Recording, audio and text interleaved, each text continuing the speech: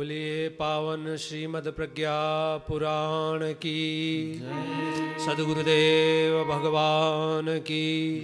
वंदनीय माता जी की। जय गायत्री माता की। जय गंगा मैया की। जय सत्य सनातन धर्म की। जय पावन कुंभ पर्व की। जय उस प्राण स्वरूप दुख नाशक सुख स्वरूप श्रेष्ठ, तेजस्वी, पापनाशक देव स्वरूप परमात्मा को हम अपनी अंतर आत्मा में धारण करें। वह परमात्मा हमारी बुद्धि को सन्मार्ग में प्रेरित करे। इन्हीं भावों के साथ देव मंत्र, वेद मंत्र, ऋषि मंत्र, विश्व मंत्र गुरु मंत्र, गायत्री महामंत्र का गान हम सब साथ साथ करें। इन भावों के साथ विश्वव्यापी कोरोना महामारी का शमन हो। सभी नर नारी, बालक वृद्ध, देश और विदेश में रहने वाले हमारे अपने या समस्त संसार के प्राणी स्वस्थ, सुखी, बीमारी से मुक्त हों।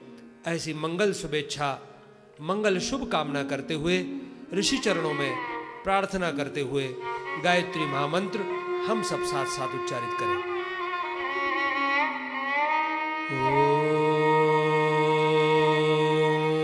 भूर्भुवः स्वाहा, तत्सवितुर्वरेण्यं, भर्गो देवस्य धीमहि धियो यो नः प्रचोदयात्। ॐ अज्ञानतिमिरान्धस्य ज्ञानाञ्जनशलाकया चक्षुरुन्मीलितं येन तस्मै श्रीगुरुवे नमः।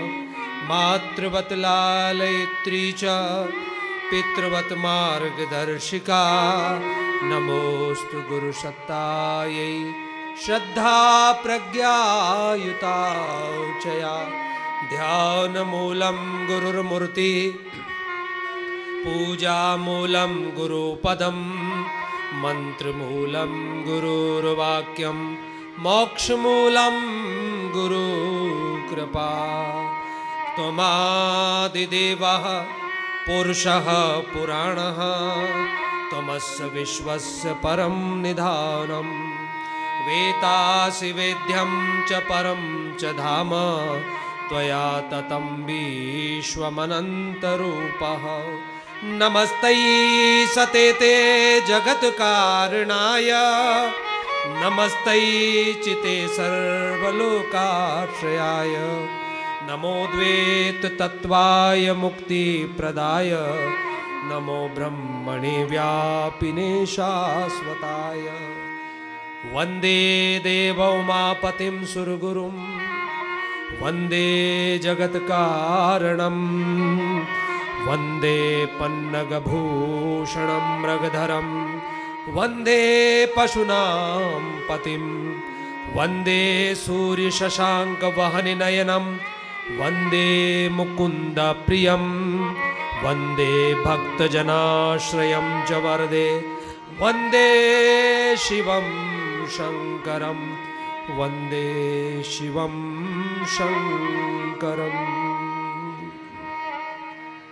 ॐ नमोऽस्त्वनन्ता यसहस्रमूर्तये सहस्रपादाक्षशिरोरुबाहवे। सहस्रनाम्ने पुरुषाय शाश्वते सहस्रकोटि युगधारिणे नमः। सहस्रकोटि युगधारिणे नमः। सद्गुरुदेव नमः। देवी स्वरूपा, मातृशक्ति, बहनों, देवतुल्य आत्मी भाइयों, राष्ट्र के कर्णधार, युवा साथियों, पावन कुंभ पर्व पर देश देशांतर से आए हुए सभी श्रद्धालुगण, आश्रम में साधनारत नवरात्रि साधना के हमारे बंधु भगिनी आज नवरात्रि के पंचम दिवस में हमको आपको पावन प्रज्ञा पुराण का, अमृत पीने का, पिलाने का अवसर परमात्मा ने, सदगुरुदेव ने हमको आपको दिया है। भाई और बहनों, भगवान विष्णु के श्रीमुख से निकली पावन प्रज्ञा पुराण। ईश्वर, आदर्शों और अच्छाइयों का समुच्चय। भगवान ब्रह्मा जी जो इस संसार को बनाते हैं, भगवान विष्णु जी जो इस संसार को संभालते हैं, और भगवान शिव जो इस संसार में सृजन के लिए परिवर्तन करते हैं। भगवान ब्रह्मा जी को जनरेटर कहा जाता है, भगवान विष्णु को ऑपरेटर कहा जाता है, और भगवान शिव को कंस्ट्रक्टिव डिस्ट्रॉयर कहा जाता है। इसीलिए जनरेटर का जी, ऑपरेटर का ओ और डिस्ट्रॉयर का डी मिलाकर जी ओ डी गॉड बनता है, जो बनाता है, जो संभालता है और जो मिटा सकता है। संभालने वाली जो सत्ता है भगवान विष्णु, जो बार बार धरती पर अवतार लेकर आते हैं। जब जब हो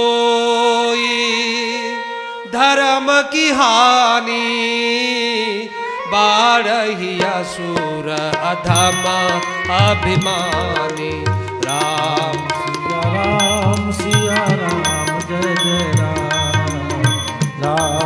सिया राम सिया राम जय जय राम तब तब धरि प्रभु विविध शरीरा, हरहि कृपा निधि सजन पीरा। राम सिया राम सिया राम जय जय राम राम सिया राम भगवान विष्णु, श्री विष्णु भगवान, धरती पर अवतार लेकर आते हैं और परिस्थितियों को बदलते हैं। वे भगवान श्री विष्णु, ऋषियों के ऋषि, देवताओं के ऋषि, देव ऋषि। भगवान श्री नारद महाराज को अपने श्रीमुख से सुनाते हैं। भगवान विष्णु ने देव ऋषि महाराज को जो बात सुनाई, देव ऋषि के द्वारा भगवान भोलेनाथ, ऋषि परशुराम जी भगवान दादा गुरुदेव और दादा गुरुदेव से गुरुदेव तक जो कथा पहुँची और जिन्होंने 24 बरस तक गौ माता को जौ खिलाकर गंगा में, गौमूत्र में निकलने वाले, गोबर में निकलने वाले उन दानों को धोकर, गंगा जल से धोकर उसकी रोटी और छाछ बनाकर खाई।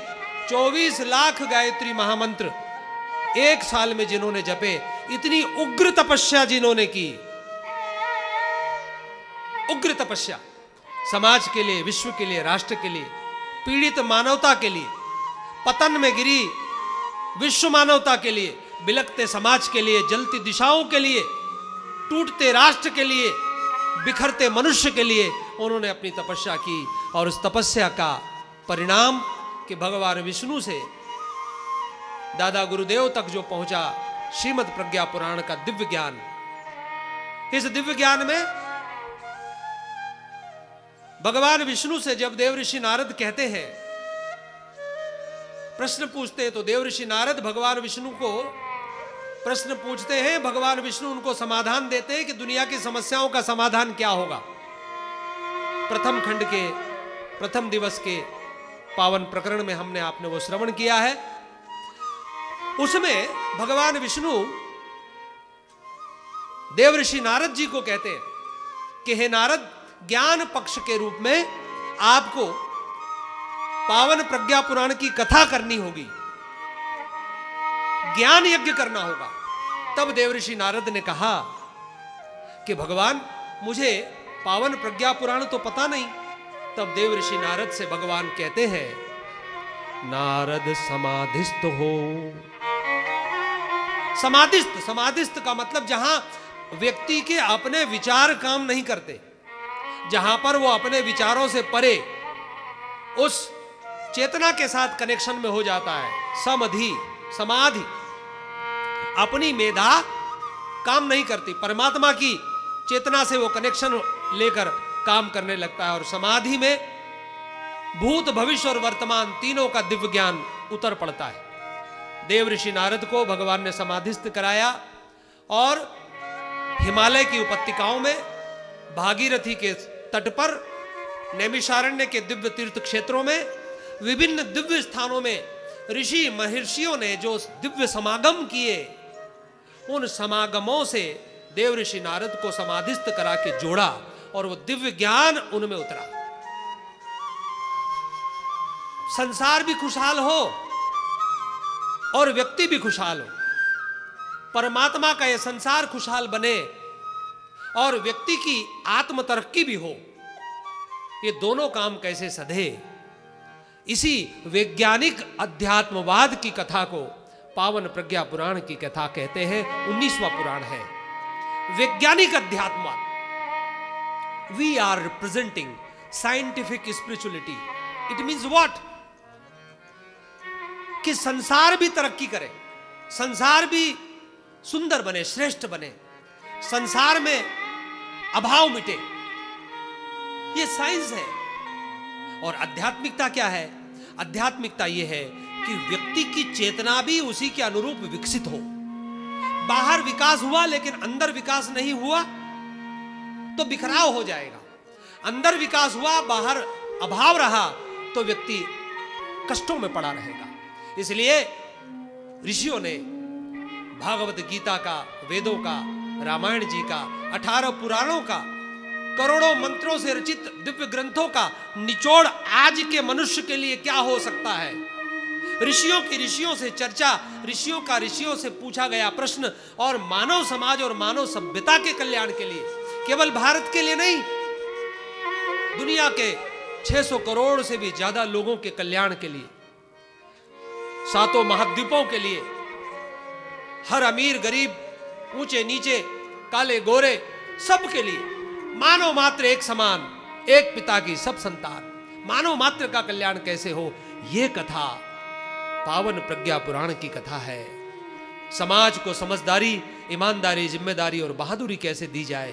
व्यक्ति, परिवार, समाज, राष्ट्र कैसे खुशहाल बने? समाज कैसे स्वर्गीय परिस्थितियों को उपलब्ध हो? और स्वर्ग से भी बढ़िया परिस्थितियाँ, जिसे कहा जाए प्रज्ञा युग प्रज्ञा युग आने वाला है। युग ने ली अंगड़ाई। प्रज्ञा युग आने वाला सतयुग से भी श्रेष्ठ युग। भाई और बहनों, जहाँ बाह्य जगत और आंतरिक जगत दोनों पोषण पाने वाले हैं, ऐसी पावन प्रज्ञा पुराण की कथा। हम ऋषियों के श्री चरणों में प्रार्थना करके श्रवण करने जा रहे हैं। हम सब निमित्त मात्र हैं। परम पूज गुरुदेव वेद मूर्ति तपोनिष्ठ, पंडित श्री राम शर्मा आचार्य जी वंदनिया माता भगवती देवी शर्मा, सजल श्रद्धा प्रखर प्रज्ञा से हम सबको वो ज्ञान दे, वो आशीर्वाद दे, हम सब पर वो कृपा करे। अखंड दीप, गायत्री माता, सप्त सरोवर, गंगा मैया, कुंभ में पधारे सभी ऋषि, सब हम सबको आशीष दे। हम आप तक इस दिव्य ज्ञान को पहुँचाने की अल्प सामर्थ्य प्राप्त कर सकें। लेकिन उसके पूर्व नवरात्रि है, नवरात्रि में हम माँ से भक्ति मांगे, माँ से प्रार्थना करें, हमें वो भक्ति दे, शक्ति दे और भक्ति और शक्ति के सहारे ही हम मुक्ति को प्राप्त हो। हमें भक्ति दो माँ। ऋषि क्या कहते हैं? माँ, हमें वह भक्ति दो। संवेदना से छल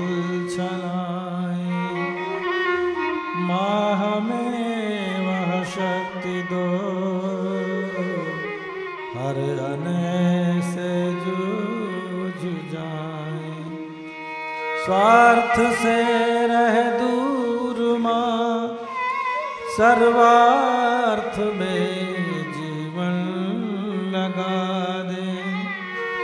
पतन पीड़ा को मिटा कर नव सृजन के काम आए। नव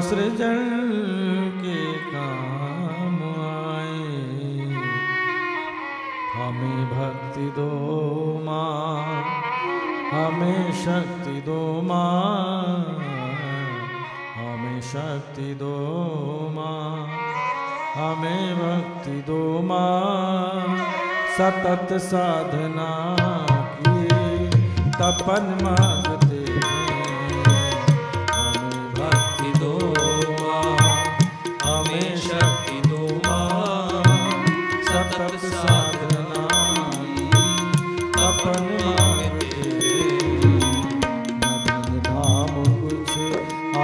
आपसे मांगते माँ धन धाम कुछ आपसे मांगते माँ विमल ज्ञान की एक किरण मांगते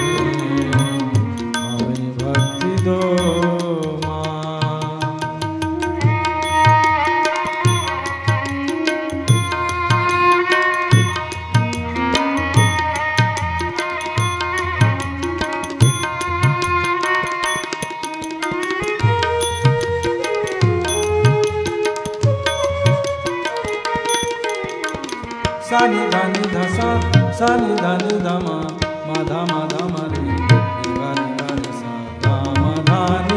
सा, हृदय भावना से, प्यार से भरे हो, लगे दिल की तीर बन कर छलकने, हृदय भावना से, प्यार से भरे हो, लगे दिल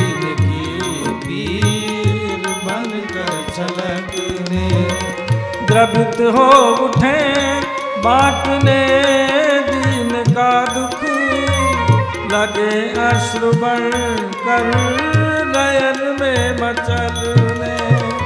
द्रवित हो उठे, बांटने दिन का दुख। लगे अश्रु बन कर नयन में मचलने।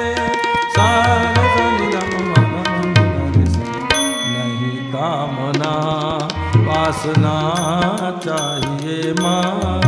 नहीं कामना, वासना चाहिए माँ। सतत साधना का वरण मांगते हमें भक्ति दो।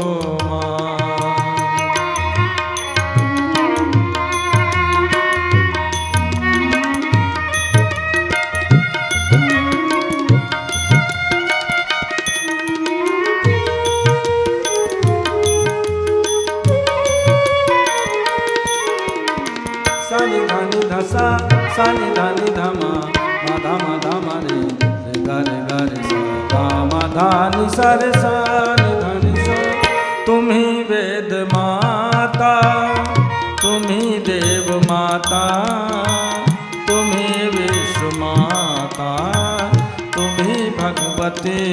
हो तुम ही वेद माता तुम ही देव माता, तुम्हें विश्व माता, तुम्हें भगवती। हो। पतन पाप से मुक्त करने तुम्ही तो। पतित पावनी हो, भागीरथी हो। पतन पाप से मुक्त करने तुम्ही तो। पतित पावनी हो, भागीरथी हो। सारे धा पमा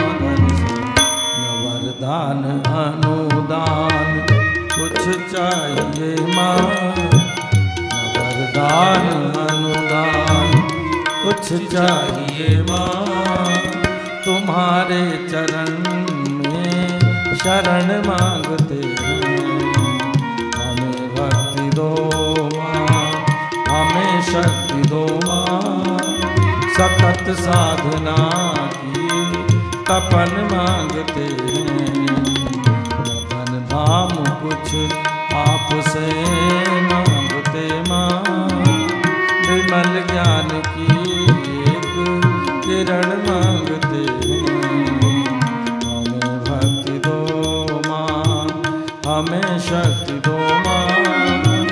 सतत साधना तपन मांगते विमल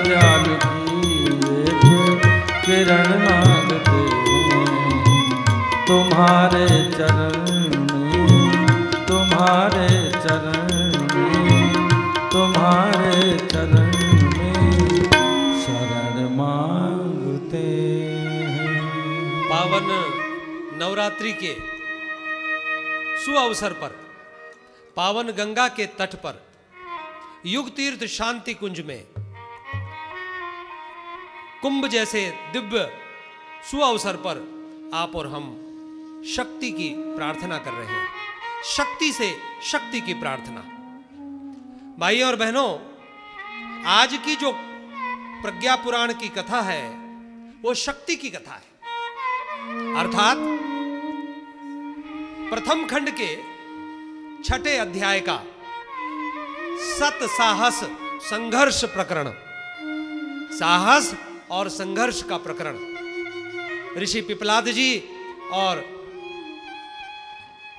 महर्षि पिपलाद जी और महर्षि दुर्वासा ऋषि के बीच का जो सत साहस संघर्ष प्रकरण है, उस पर आज आप और हम चर्चा कर रहे हैं। दिया ज़रूर जलाऊँगा। चाहे मुझे ईश्वर न मिले। दिया ज़रूर जलाऊँगा, चाहे मुझे ईश्वर न मिले। हो सकता है दीपक की रोशनी से किसी मुसाफिर को ठोकर न लगे। ज्ञान यज्ञ के लिए समर्पित जिनका जीवन सारा, उन श्री राम चरण में विनम्र प्रणाम हमारा। ज्ञान यज्ञ के लिए समर्पित। ज्ञान की क्रांति की आज समाज को आवश्यकता है। भाई और बहनों, रोटी, कपड़ा और मकान साथ साथ नैतिक उत्थान। जब तक व्यक्ति को सदज्ञान नहीं मिल जाएगा, तब तक व्यक्ति और समाज खुशहाल नहीं होगा। छठे अध्याय में दुर्वासा जी महाराज, आरण्यक सत्र के जिज्ञासु अग्रिम पंक्ति में बैठे हैं। सैकड़ों ऋषिवर विराजित हैं, श्रवण कर रहे हैं, प्रश्नोत्तरी का क्रम चल रहा है। श्रीमान दुर्वासा जी महाराज, सभा के सत्र के अध्यक्ष महर्षि पिपलाद जी से पूछते हैं। दुर्वासा उवाच। ब्रह्म विद्या प्रवर्ते संवर्धनस्य प्रसंग के देव यद भवता प्रोक्तम। वयमत्र तु।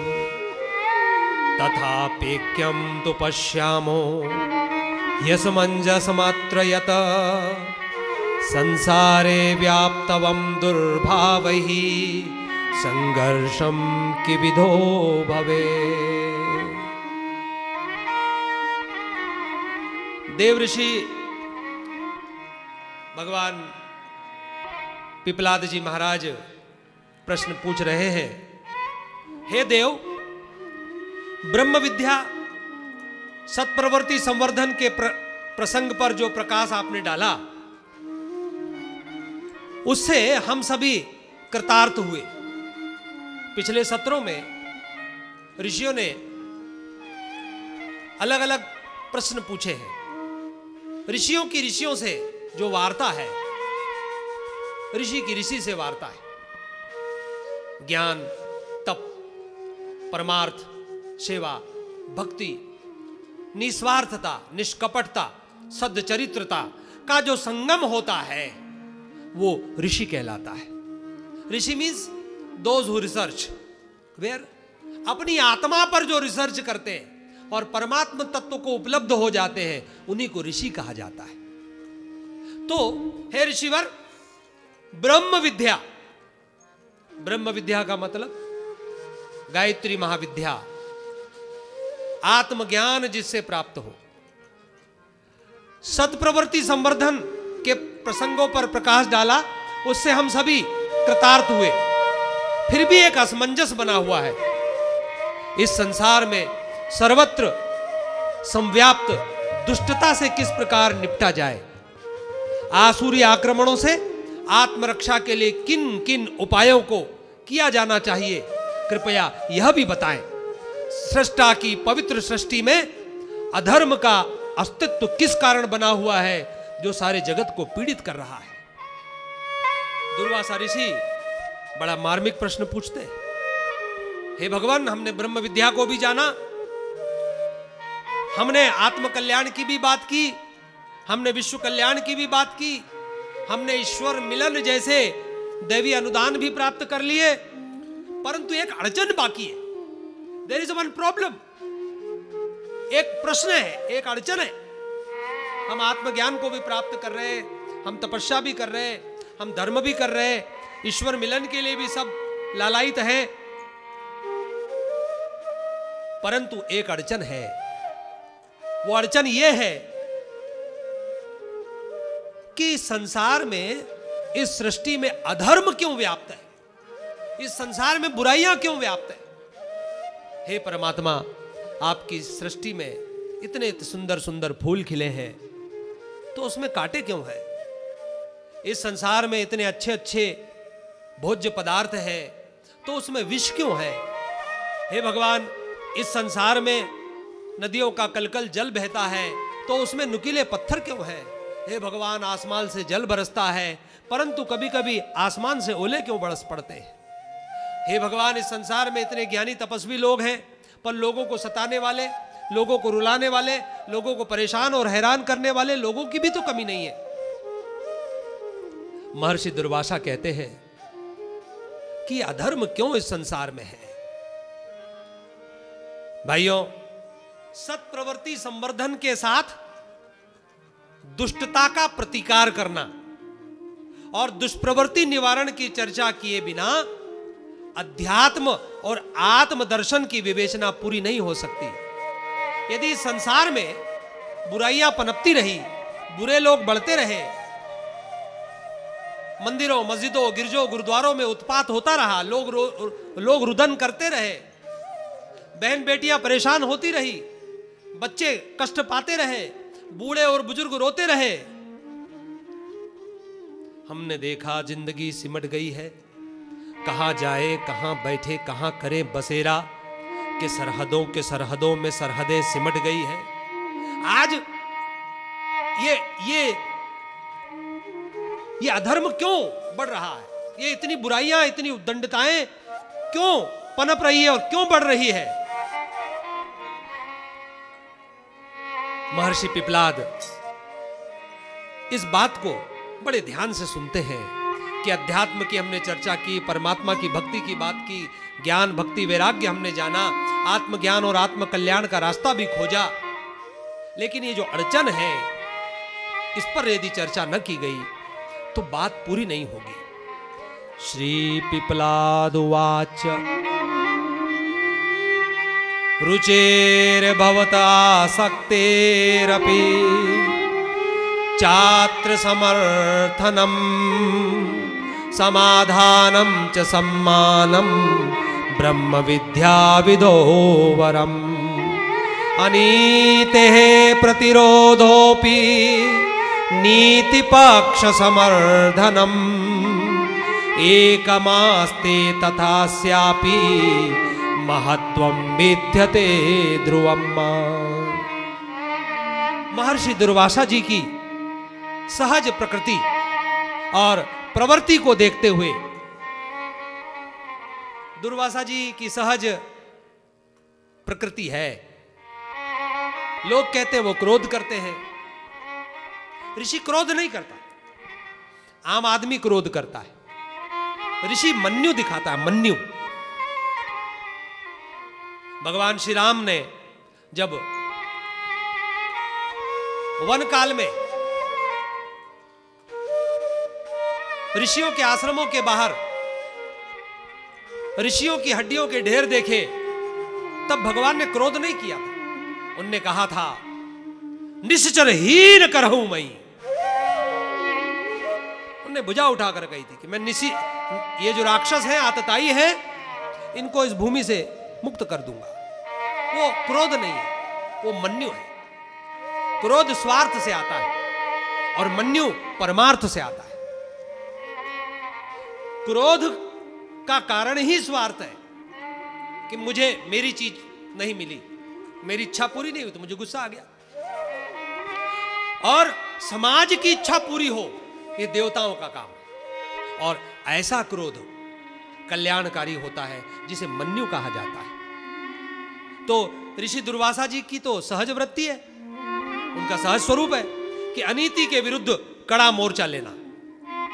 वो मोर्चा लेते हैं। अनीति के विरुद्ध बुराई नहीं टिकेगी। जन्म जहाँ पर हमने खाया, अन्न जहाँ का हमने पाया, वस्त्र जहाँ के हमने पहने, वह है प्यारा देश हमारा। देश की रक्षा कौन करेगा? हम करेंगे हम करेंगे हम करेंगे। समाज की रक्षा कौन करेगा? हम करेंगे हम करेंगे, हम हम मतलब वी ऑल हम सब जो अच्छा चाहते हैं वी ऑल जो भला चाहते हैं वी ऑल जो कल्याण चाहते हैं वी ऑल, कि कोई बेटी घर से रात में निकले तो मम्मी पापा को चिंता ना हो कि मेरी बेटी घर कब आएगी। रास्ते में उसको कोई कष्ट तो नहीं होगा? किसी बस में बैठे बूढ़े व्यक्ति को किसी का डर न लगे।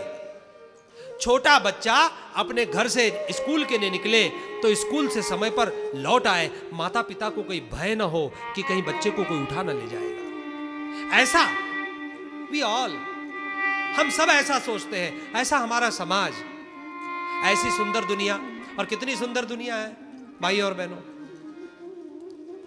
इतनी शानदार, इतनी सुंदर दुनिया और नहीं हो सकती, जहाँ इतनी वैरायटी के फूल खिलते हो, जहाँ इतनी नदियाँ बहती हो, जहाँ पर बादल उमड़ घुमड़ कर हमारे लिए विभिन्न किस्म की डिजाइन्स बनाते हो, जहाँ पर कोयल आपके लिए हमारे गीत गाती हो, जहाँ पर मधुमक्खियाँ हमारे लिए आपके लिए शहद लाती हो, जहाँ पर चिड़िया चहचाती हो, जहाँ पर तितली रंग बिरंगे रंग लेकर आपके बच्चों का मनोरंजन करती हो। कितना सुंदर संसार है ये। इस सुंदर संसार में इतना डर क्यों है भाई? इतना भय क्यों है? इतनी मुसीबतें क्यों है? तो इस मुसीबत का समाधान कौन करेगा? इस पर चर्चा तो करना ज़रूरी है। ये अधर्म क्यों पनप रहा है? ये बुराइयाँ क्यों पनप रही है? अच्छे लोग बुरे लोगों के द्वारा क्यों सताए जा रहे? हैं बस में सौ लोग बैठे हैं दो चार उद्दंड लोग, पूरी बस को परेशान कर रहे हैं। बड़े बड़े आश्रमों को दो चार लोग परेशान करने लगते हैं। नदियों को दस, बीस, पचास लोग प्रदूषित कर देते हैं। भगवान की सुंदर सृष्टि को कुछ मुट्ठी भर लोग खराब करने में जुट जाते हैं। तो प्रश्न तो उठता है। और उठना भी चाहिए। जिंदे हो तो ज़िंदा दिखना ज़रूरी है। यदि कोई ज़िंदा है, यदि व्यक्ति व्यक्ति ज़िंदा है, परिवार ज़िंदा है, यदि समाज ज़िंदा है और यदि राष्ट्र ज़िंदा है तो उस राष्ट्र को ज़िंदा दिखना चाहिए।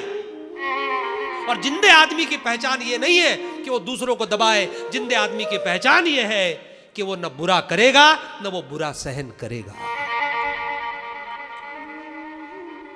तो अनिति के विरुद्ध कड़ा मोर्चा लेना। दो पहलू हैं भाई और बहनों, ज़िंदगी के। ज़िंदगी बड़ी खूबसूरत है। इस खूबसूरत ज़िंदगी को ऋषि होकर, अध्यात्मवादी होकर, आत्मा के स्तर पर पहुंचकर ही आनंद लिया जा सकता है। भौतिक जगत केवल भौतिकवादी होकर हम इसका आनंद नहीं ले सकते। जितना योगी जीवन का आनंद लेता है, वो भोगी नहीं लेता। भोगी तो भोग करके जीवन को खत्म करता है, लेकिन योगी उस परम तत्व का आनंद लेता है। आत्मज्ञान मनुष्य का जन्म सिद्ध अधिकार है, वो ऋषि लेता है, आत्मज्ञान। भाइयों और बहनों, यदि हम आत्मज्ञान की चर्चा करें, भक्ति की चर्चा करें, तपस्या की चर्चा करें, परंतु हमारे आसपास फैले दुख कष्टों के निवारण के लिए हम कोई प्रयास न करें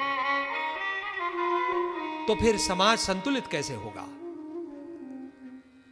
यदि हम सोचते हैं कि हम माला जप रहे हैं, भगवान की भक्ति कर रहे हैं, हमारे पड़ोस में कोई कष्ट पा रहा है, हमें क्या लेना देना? हम गंगा किनारे जप कर रहे हैं, कोई कष्ट में पड़ा है, हमें क्या लेना देना? हमारे समाज में कोई बहन, कोई बेटी, कोई माता, कोई भाई, कोई बच्चा, कोई वृद्ध यदि कष्ट पा रहा है तो भाई और बहनों, हमारा ये फ़र्ज़ बनता है, उनको कष्ट से मुक्ति दिलाने हेतु हमें भी प्रयास करना। इसीलिए किसी कवि ने कहा युग युग से हम खोज रहे हैं। ऋषि क्या कहते हैं? युग युग से हम खोज रहे हैं, सुरपुर के भगवान को किंतु न खोजा अब तक हमने धरती के इंसान को।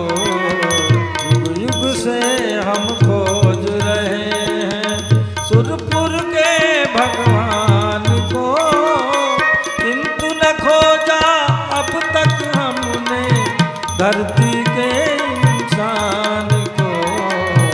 युग युग से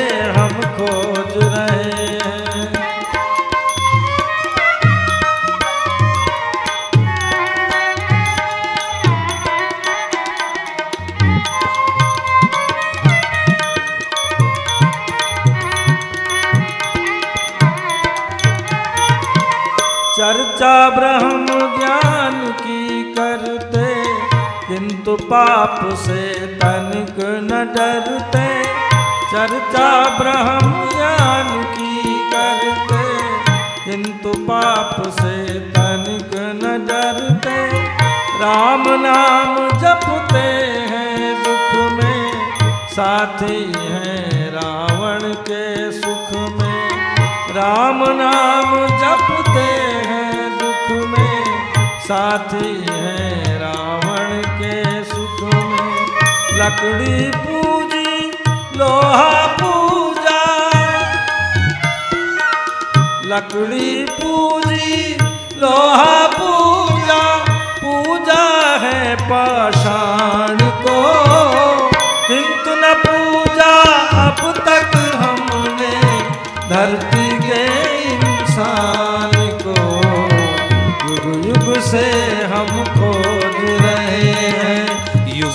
से भगवान को। किंतु न खोजा, अब तक हमने धरती के इंसान को।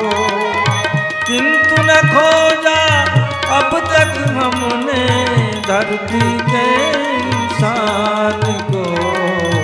युग युग से हम खोज रहे हैं। महर्षि पिपलाद ने हँसते हुए कहा आपकी रुचि और रुझान का भी ब्रह्म विद्या में समुचित समाधान, सम्मान और समर्थन है। भाई और बहनों, अनिति के विरुद्ध कड़ा मोर्चा बनाना यह भी आवश्यक कार्य है। ब्रह्म विद्या व साधना विद्या के जितने भी ग्रंथ हैं, हम आज दो ग्रंथों का उल्लेख उसमें करेंगे। एक श्रीमद् भगवत गीता और दूसरा, दुर्गा सप्तशती दोनों ग्रंथों में साधना समर को अनिति प्रतिरोध की विवेचना के रूप में बताया गया है। अनिति प्रतिरोध की विवेचनाएँ इन ग्रंथों में, भगवत गीता में और दुर्गा सप्तशती में बराबर उसका उल्लेख होता है। और गीता में भगवान ने एक शब्द प्रयोग किया है युद्धस्व स्थान स्थान पर यह शब्द आया है युद्धस्व अर्थात युद्ध करो, लड़ो, लड़ना पड़ेगा, लेकिन किसके लिए लड़ना पड़ेगा? क्यों लड़ना पड़ेगा? अनीति के विरुद्ध लड़ना पड़ेगा, अधर्म के विरुद्ध लड़ना पड़ेगा, बुराइयों के विरुद्ध लड़ना पड़ेगा, अज्ञान से लड़ना पड़ेगा और इस बिलकते समाज को, ये समाज ही भगवान का विराट रूप है। यदि ईश्वर को आपको खोजना है तो आपको ईश्वर मनुष्य के रूप में, मनुष्य के भीतर, मनुष्य रूप में आपको दिखाई देगा। The neighbour to whom we see daily we can not love then how we can love the god to whom we have not seen yet वो लोग जिनको हम रोज देखते हैं, उनके दुख कष्ट से हम प्रभावित नहीं होते, उनसे हम प्रेम नहीं करते। फिर भला बताइए, उस ईश्वर से कैसे प्रेम करेंगे, जिसे आज तक आपने हमने देखा नहीं है? जिनको हम देख रहे हैं, पहले उनसे मोहब्बत कीजिए, उनसे प्रेम कीजिए, उनके कष्टों का निवारण कीजिए। ध्वंस और सृजन, सुधार और दुलार, भागवत सत्ता के दो पक्ष हैं, भगवान के दो पक्ष हैं। भगवान सृजन करता है तो वहीं ध्वंस भी होता है। भगवान जहाँ दुलार देता है, वहीं सुधार की परिस्थितियाँ भी बनाता है। युद्धस्व युद्ध करो, लड़ो। और भाइयों, आदमी को दो मोर्चों पर लड़ाई लड़नी पड़ती है। पहला मोर्चा अंदर के कुसंस्कारों से। हमारे अंदर जो कुसंस्कार है, पहले हमें उनसे लड़ना होगा। अपना स्वार्थ, अपना अज्ञान, अपनी कमजोरियाँ, इंद्रियों की कमजोरियाँ, विचारों की कमजोरियाँ, भावनाओं की कमजोरियाँ, और आदमी भीतर ही भीतर। बाहर से वो बड़ा ताकतवर दिखाई देता है, परंतु अंदर कितना कमज़ोर है कि खाना खाने बैठता है और थाली में नमक न हो तो थाली को उठा के फेंक देता है। कितना कमज़ोर है आदमी। आदमी संकल्प लेता है कि मैं नमक नहीं खाऊँगा। लेकिन वो एक बार चख ही लेता है।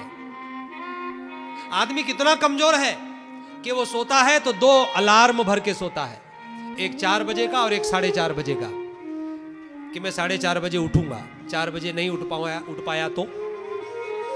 तो अपने अंदर के कुसंस्कारों से लड़ाई और फिर बाहर के आक्रमणों से लड़ाई।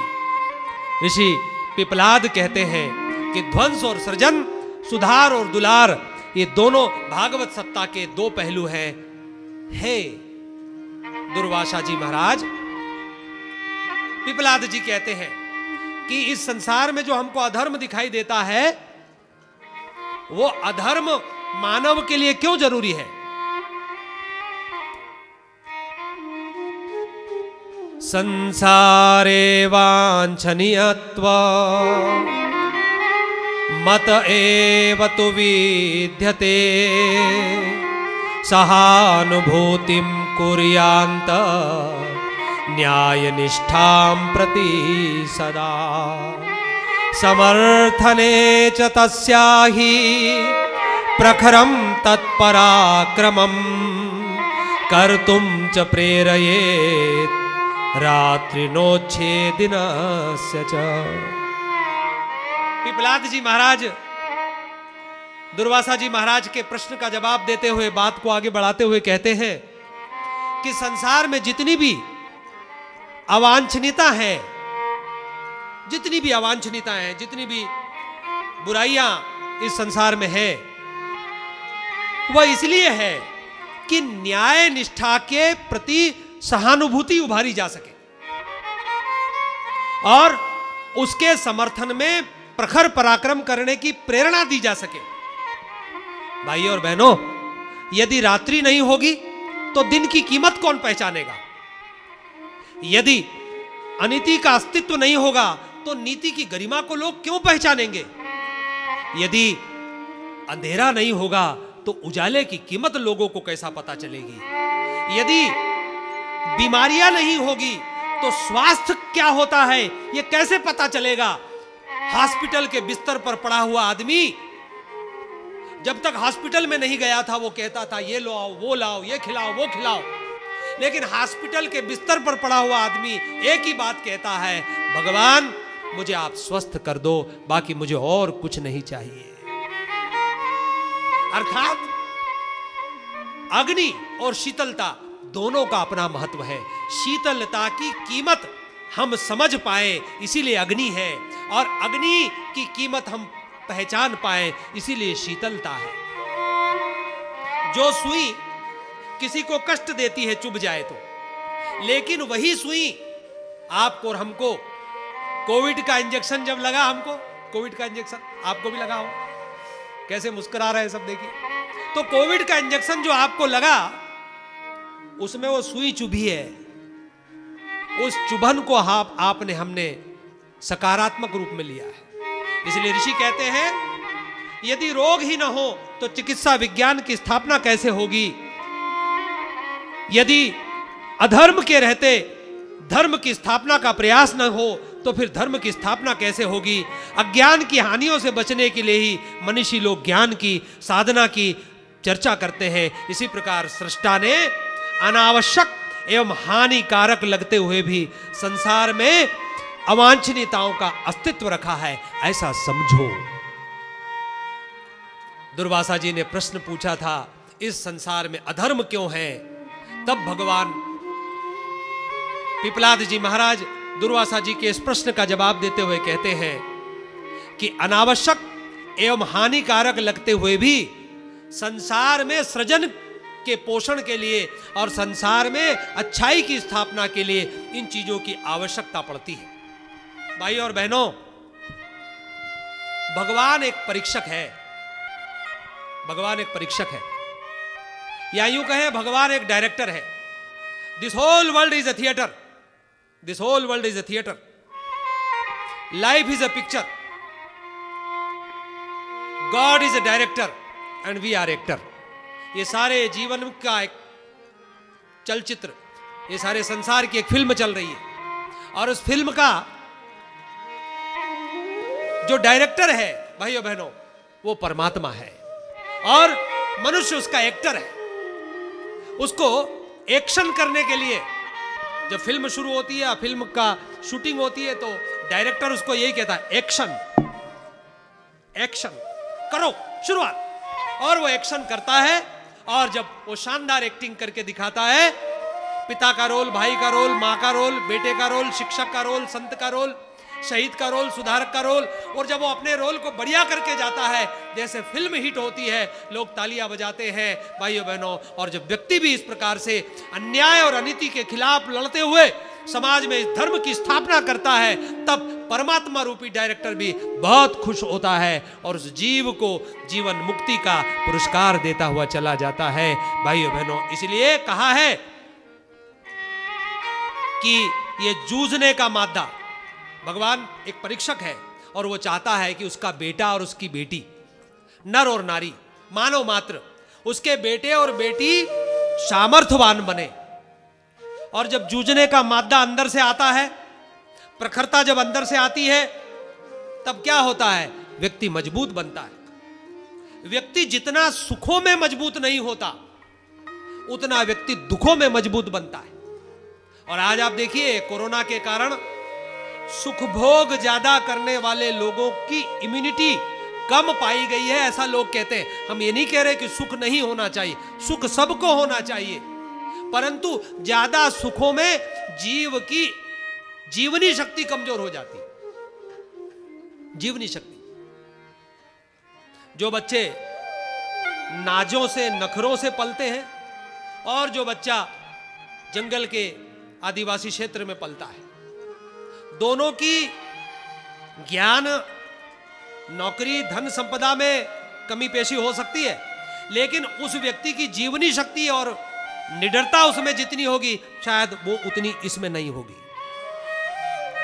तो बुराइयाँ और अवांछनीयताएँ अर्थात बुराई मतलब अवांछनीयता अनावश्यक होते हुए भी विद्यमान है, ताकि नीति की स्थापना की जा सके।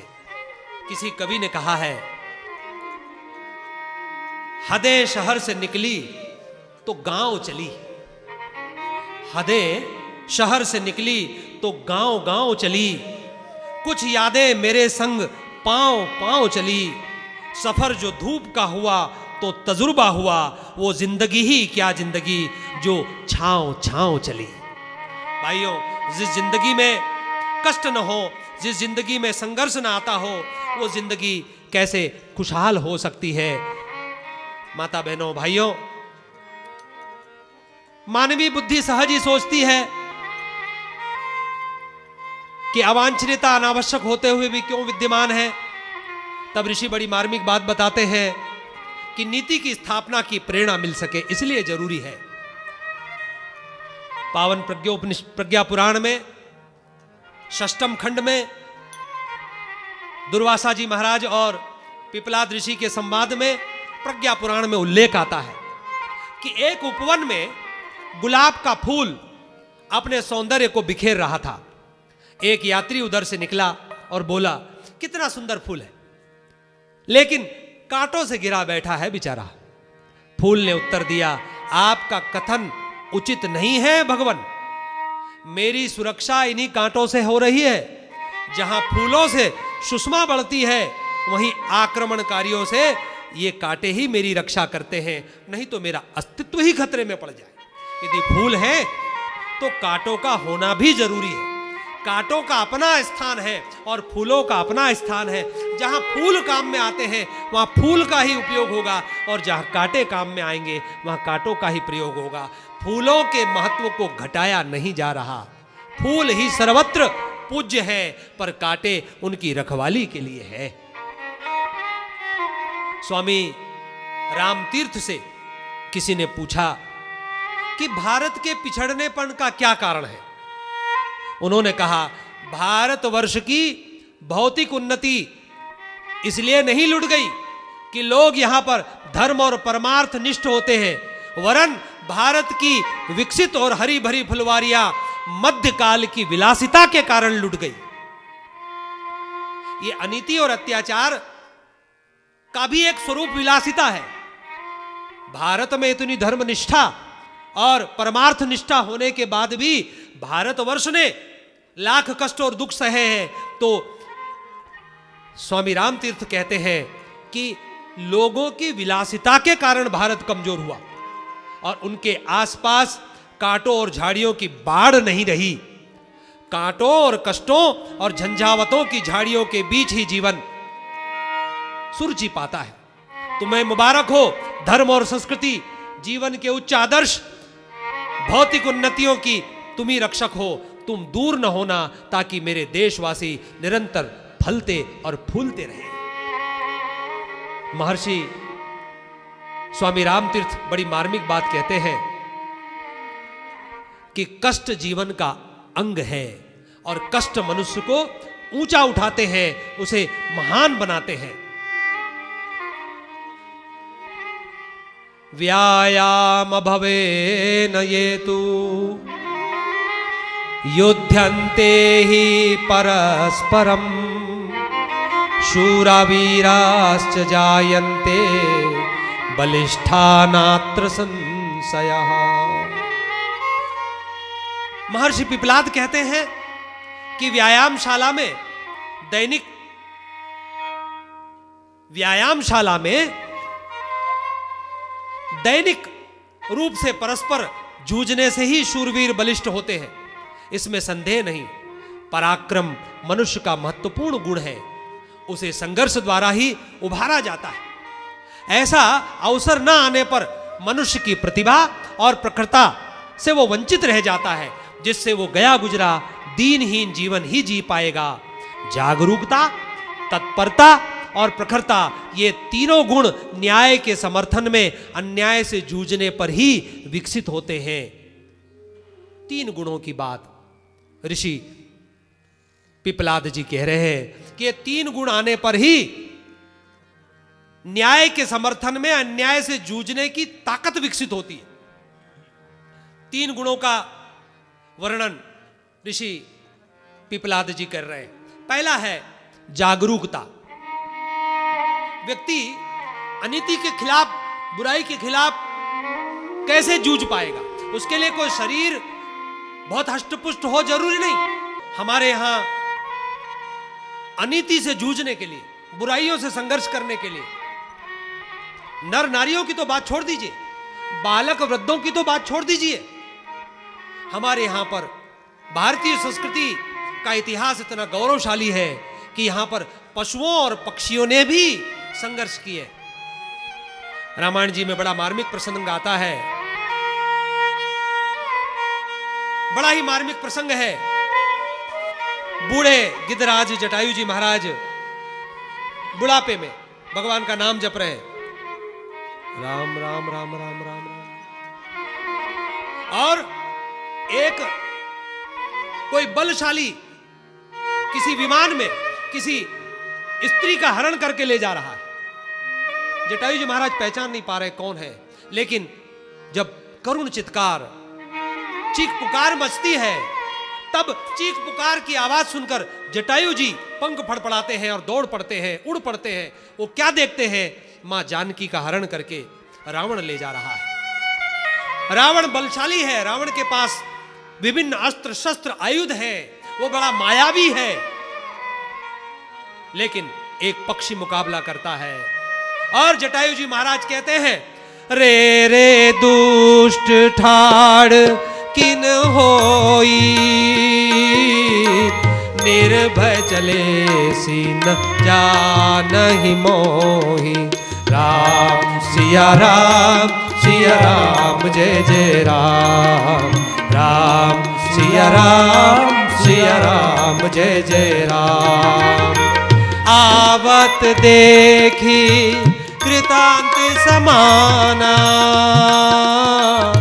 फिर दस कंधर कर अनुमाना। राम, सिया राम सिया राम, जय जय राम।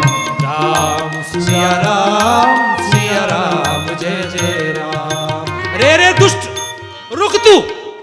मैं अभी आता हूँ। और भाइयों, सीता माता को बचाने के लिए अन्याय और अत्याचार के विरुद्ध एक पक्षी जटायु जटायु देव रूप थे, लेकिन वो उस समय पक्षी रूप थे, और वो खड़े हो गए। उन्होंने आदर्श उदाहरण प्रस्तुत किया कि एक पक्षी भी यदि चाहे तो बुराई का मुकाबला कर सकता है माता बहनों भाइयों। और कहते हैं, रावण से जटायु जी महाराज का युद्ध हुआ, और रावण ने अपनी तलवार चलाई, पंख कट गए, और वो धराशायी हो गए ज़मीन पर। ओ भगवान भगवान श्री राम श्री राम श्री राम कहते हुए वो ज़मीन पर खून से लथपथ सने हुए हैं। ऐसी मृत्यु, उस मृत्यु से बहुत अच्छी है जो फूलों की सेज पर बैठकर आती हो। भाई और बहनों, ये मृत्यु सौभाग्यशालियों को भी, सौभाग्यशालियों को ही प्राप्त होती है। जो देश, समाज, राष्ट्र और विश्व की रक्षा के लिए मृत्यु आती हो, ऐसी मृत्यु तत्काल हमको मोक्ष दिलाती है। क्योंकि जिस समय, उस समय जो चेतना जिस उच्च अवस्था में होती है, भाइयों बहनों, इतिहास गवाह है। भगवान राम जब माँ जानकी को ढूंढते हुए आए, तब उन्होंने वहाँ पर राम नाम जपते खून से लथपथ जटायु जी महाराज को देखा। और जटायु जी महाराज को उन्होंने अपनी गोद में लिया, उनके ऊपर हाथ घुमाया और उनसे पूछा, आपने देखा है जानकी को? भाइयों, तब जटायु जी महाराज भक्त भाव में, भगवान श्री राम की गोद में यह गोद भगवान की गोद किन्हें प्राप्त होती है? जो देश, समाज और विश्व के कल्याण के लिए अपने को आहूत कर देते हैं। रोज हज़ारों लोग रोड में एक्सीडेंट में कुचले जाते हैं, लेकिन देश की सीमा पर आतंकवादियों से मुकाबला करते हुए जब सैनिक शहीद होता है तो हम और आप सब कहते हैं, जय हिंद। भारत माता की जय। और तिरंगे में लपेट कर, तिरंगे में लपेट कर शव सम्मान के साथ, तोप की सलामी के साथ अग्नि को समर्पित किया जाता है। या जो जिस धर्म वाला होता है, उस धर्म के रीति रिवाज से समर्पित किया जाता है। भगवान की गोद में, श्री राम की गोद में, भगवान श्री राम की गोद में जटायु जी महाराज है और वो कहते हैं कि इस दिशा में रावण माँ जानकी को लेकर गया है। राम राम राम राम। और भगवान की गोद में जटायु जी महाराज अपना शरीर छोड़ देते हैं बैकुंठ धाम को पधार जाते हैं। भाइयों, भगवान श्री राम अपने पिता के अंतिम समय में उनका अंतिम संस्कार नहीं कर पाए। लेकिन एक जटायु पक्षी, जिसने समाज और राष्ट्र के लिए, एक अबला के लिए, माँ जानकी के लिए, उस समय वो अबला के रूप में चित्कार रही थी, उनके लिए अपनी कुर्बानी दे दी। उस व्यक्ति को, उस चेतना को, उस पक्षी को भगवान अपनी आँखों से, भगवान की आँखों से उनकी करुणा उमड़ पड़ती है, उसके त्याग को देखकर और भगवान अपनी आँखों से उसके ऊपर अभिषेक कर रहे हैं। मान लीजिए जलांजलि कर रहे हैं, मान लीजिए उसके दुख कष्टों को दूर कर रहे हैं, कितना बड़ा त्याग और बलिदान कि भगवान की गोद में भक्त है और भगवान की अश्रुधारा बह रही है। भाइयों, ऐसा सौभाग्य अनिति से जूझने वालों को प्राप्त होता है। इसीलिए कहा कि पहली चीज़ है जागरूकता, दूसरी चीज़ है तत्परता और तीसरी चीज़ है प्रखरता। जागरूकता का मतलब अवांछनीयता और वांछनीयता को पहचानने की क्षमता। जो जागरूक है वो कौन है? कि अच्छाई और बुराई को जो पहचानता हो। दूसरा, कार्य को उत्तमता से करना जानता हो। और तीसरा, कहीं काम खराब न हो जाए, इस प्रतिष्ठा से काम को करना। ये तीन चीज़ें जिसमें होती है, वो जागरूक होता है, वो जागरूक कहलाता है। और दूसरी चीज़, तत्पर। तत्पर का मतलब निर्णय लेना, तुरंत। और क्रियान्वयन की क्षमता को विकसित करना, लगन, स्फूर्ति, श्रमशीलता के समन्वय से किसी कार्य को प्रतिष्ठा का प्रश्न बनाकर करना, ऐसा जो व्यक्ति होता है, वो तत्पर कहलाता है। और तीसरा, प्रखर। न्याय की रक्षा हेतु किस प्रकार से मोर्चा लेना चाहिए, इस क्षमता का विकास जिसमें होता है, उसको प्रखर कहा जाता है।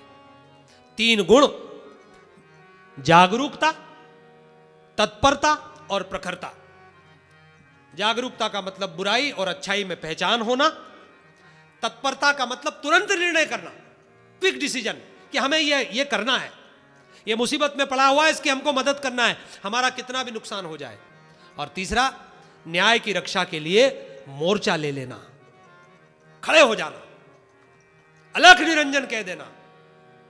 जो हाथ में है, वो लेकर चल पड़ना। भाइयों, संसार संघर्ष का रंगमंच है। और इसमें व्यक्ति, समुदाय और राष्ट्र अपने सिद्धांतों, आदर्शों की रक्षा के लिए संघर्षरत होकर अपनी श्रेष्ठता बनाए रखने का प्रयत्न करते हैं। और सत्य, न्याय और आदर्शों से वे लड़ते हैं। सत्य, न्याय, आदर्शों से वे लड़ते हैं और जो इनके सहारे लड़ते हैं, वो कभी भी हारते नहीं है। इसीलिए अंगद जी रावण के दरबार में जब जाते हैं तो जागरूक और प्रखरता का अद्भुत समन्वय अंगद जी में हमको आपको देखने को मिलता है, उनके चरित्र में देखने को मिलता है कि अंगद जब रावण के दरबार में पहुँचते हैं तो बहुत सारे संवाद होते हैं। उनमें महत्वपूर्ण बात यह है कि अंगद जी अपना पाँव जमा देते हैं। और पाँव जमा देते हैं और वो कहते हैं कि यदि आप में से कोई भी भगवान श्री राम में, सत्यनिष्ठा में, भगवान के आदर्शों में, अच्छाई में, उनको इतना भरोसा है कि यदि मेरा पाँव कोई हिला देगा, उठा देगा तो मैं हार कर चला जाऊँगा। भगवान की ओर से उन्होंने इतनी बड़ी रिस्क लिए आदर्शों के दम पर ही लिए सारे लोग आए, अंगद जी का पाँव हिलाने, कोई पाँव को हिला नहीं पा रहा है। रावण भी आता है, और जब रावण पाँव छूने लगता है, पाँव पकड़ने लगता है, पाँव पकड़ने के लिए पाँव छूना पड़ेगा तो अंगद जी पीछे हट जाते हैं। मेरा पाँव छूने से कोई फ़ायदा नहीं, रावण। यदि पाँव छूना है तो भगवान श्री राम के पाँव छुओ, जिनके चरणों में जाकर जीव सदगति को प्राप्त होता है, सदगति को उपलब्ध होता है। अंगद ने जब ये बात कही तो रावण ने कूटनीतिक चाल चली, और अंग, और ये कहा, तुम तो जानते नहीं, अंगद, जिस राम ने तेरे पिता को मारा तो उन्हीं की सहायता कर रहा है? मेरे मित्र का पुत्र होकर भी तू मुझसे बैर कर रहा है? अंगद हंसे और कहा, अन्यायी से लड़ना और उसे मारना ही सच्चा धर्म है, चाहे वह मेरा पिता हो अथवा आप ही क्यों ना हो। अंगद के तेजस्वी शब्द सुनकर रावण को कोई जवाब देते न बना। भाई और बहनों, अष्टावक्र जी महाराज, राजा जनक के कुल गुरु थे धर्म गुरु थे। जब वो धर्म गुरु नहीं बने थे, तब एक घटना घटी थी। राजा जनक मिथिलापुरी में राजपथ पर होकर उनका, उनकी शोभा यात्रा निकलनी थी, जुलूस निकलना था। राजा निकलने वाले हैं, इसलिए सारे रास्ते ब्लॉक कर दिए गए, सेना लग गई और कोई बीच में ना आए, राजपथ को खाली करा लिया गया। पथिकों से शून्य कर लिया गया शोभा यात्रा निकलने वाली। अष्टावक्र जी वहाँ से निकल कर जा रहे थे। और अष्टावक्र जी को भी कहा गया, हटो, किनारे हो जाओ। तो उनने हटने से इनकार कर दिया और कहा, प्रजाजनों के आवश्यक कार्यों को रोककर अपनी सुविधा का प्रबंध करना राजा के लिए उचित नहीं है। राजा अनिति करे तो ब्राह्मण का कर्तव्य है कि वह उसे रोके और समझाए। सो आप, राज्य, राज्याधिकारी, गण, राजा जी से मेरी यह बात पहुँचा देना। कि अनुपयुक्त को हम नहीं मानते। हम बुरी बात को नहीं मानते और हम इनकार करते हैं और हम हटेंगे नहीं। राजपथ पर ही चलेंगे। राज्य अधिकारी कुपित हुए। उन्होंने अष्टावक्र जी को बंदी बना लिया। जब राजा के पास ये बात पहुँची, राजा जनक जी के पास ये बात पहुँची तो जनक जी ने सारा किस्सा सुना और किस्सा सुनने के बाद अष्टावक्र जी की इस निर्भीकता से उनको अपनी गलती को समझने और सुधरने का अवसर मिला। और फिर वो उनके पास गए, उनको उन्होंने प्रणाम किया और उनसे कहा कि आज से आप राजगुरु रहेंगे और इसी निर्भिकता से सदा न्याय पक्ष का आप समर्थन करते रहना। और उन्होंने प्रार्थना को स्वीकार किया और ऐसे न्याय प्रिय ऐसे अनिति के खिलाफ आवाज़ उठाने वाले, ऐसे जो बुराई को न सहन करने वाले अष्टावक्र जी महाराज राजा जनक के गुरु बने और उन्होंने राजा जनक को मोक्ष का मार्ग प्रशस्त कराया। भाई और बहनों, समर्थ रामदास जी के जीवन में भी ऐसी घटना घटी, जब वो शादी के मंडप में थे और उनको कहा गया, वरवधु सावधान। सावधान? जब सावधान शब्द बोला गया तो रामदास जी महाराज सावधान हो गए। उन्होंने सोचा कि सावधान मैंने कोई मुश्किल आ सकती है। उनकी चेतना उस समय जागृत हुई और वहाँ से निकल पड़े, भाग गए और उन्होंने युग को बदलने की साधना प्रारंभ की। जब दूसरे संत, महात्मा जन जीवन की दुर्दशा यवनों के अत्याचार से आँख बंद करके ध्यान से मुक्ति का काम कर रहे थे, ध्यान से मुक्ति, कि मुझे ध्यान से मुक्ति हो, ध्यान से मुक्ति हो जाए। उस समय समर्थ गुरु रामदास ने शिवाजी महाराज को साथ लेकर गाँव गाँव में घूमकर हनुमान मंदिरों की व्यायामशालाओं की स्थापनाएँ कराई और वे समर्थ गुरु रामदास के नाम से विख्यात हुए। जय समर्थ रघुवीर। बोले समर्थ गुरु रामदास जी महाराज की बोले छत्रपति शिवाजी महाराज की। और भाई और बहनों बंकिम चंद्र चट्टोपाध्याय ने जब आनंद मठ नाम का उपन्यास लिखा उस आनंद मठ में देशभक्त सन्यासी दल की कथा है, जो देश को गुलामी से मुक्त कराने हेतु गुप्त रूप से सैनिक तैयारी करते हैं और लड़ते लड़ते अपने प्राणों की आहुति दे देते हैं और उसी से मंत्र निकला है। प्रखर मंत्र, और वो प्रखर मंत्र भारत का मंत्र बना। वंदे मातरम वंदे मातरम वंदे मातरम। हम सब बड़े गर्व और गौरव से कहते हैं, वंदे मातरम। भगत सिंह वंदे मातरम बोलते हुए फांसी के फंदे को चूम लेते हैं। वंदे मातरम बोलते हुए सुभाष चंद्र बोस आज़ाद हिंद फौज खड़ी कर देते हैं और तुम मुझे खूंज लो मैं तुम्हें आज़ादी दूँगा का वो जय घोष करते हैं। वंदे मातरम बोलते हुए बापू क्रांति खड़ी कर देते हैं। वंदे मातरम बोलते हुए हमारे क्रांतिकारी देश के लिए कुर्बान होते हुए चले जाते हैं। ऐसा साहस, प्रखर और प्रगतिशील लोग ही कर सकते हैं, जिनमें जागरूकता, तत्परता और प्रखरता का गुण होता है। ऋषि क्या कहते हैं? वंदे मातरम वंदे वंदे मातरं वंदे वंदे मात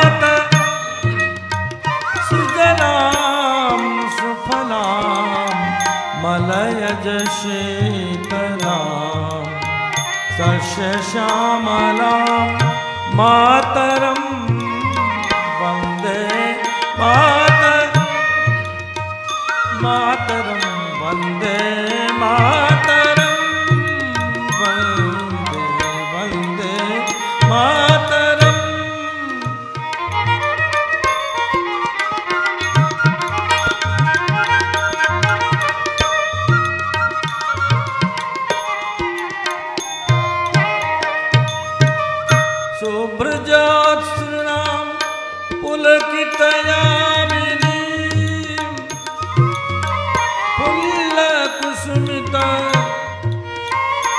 द्रुमदलशोभिनी सुहासिनी सुमधुरभाषिनी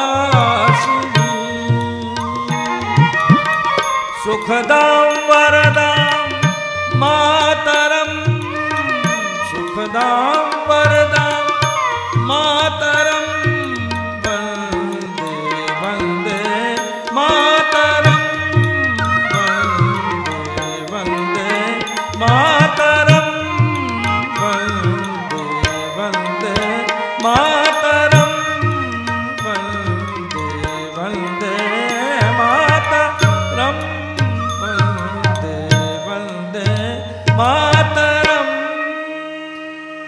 इमे त्रयो गुणा। न्यायपक्षमाभृश्य सर्वथा। युद्धयमाने भजन्त्याशु। विकासं तु महामुने। इसी प्रकार व्यक्ति का व्यक्तित्व निखरता है। वंदे मातरम बोलकर साहस के धनी एक ध्यान से मुक्ति चाहता है और दूसरी तरफ़ समाज की पीड़ा और पतन को दूर करके अपने जीवन की मुक्ति का रास्ता ढूंढता है। जो मुस्कुरा रहा है, उसे दर्द ने पाला होगा। जो जल रहा है, उसके पाँव में छाला होगा। बिना संघर्ष के इंसान चमक नहीं सकता। जो जलेगा, उसी दिए में तो उजाला होगा। जो जलेगा, उसी दिए में उजाला हो सकता है। भाई और बहनों, जलना होगा हमें समाज के लिए। ऋषि दुर्वासा जी महाराज के प्रश्न पर पिपलाद जी महाराज कहते हैं। अज्ञानम चाप्य भावाश्च, श्रेण्यामस्याम निरूपिते देवास्त्रयो ज्ञान कर्मो उदार्यानामानाम एवते अज्ञानमतसो भावो अन्यायश्चैत्रयो सुरः।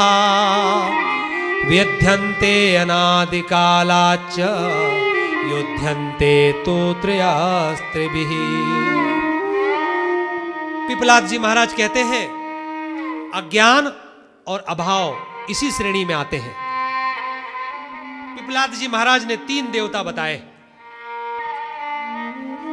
ज्ञान, कर्म और उदारता।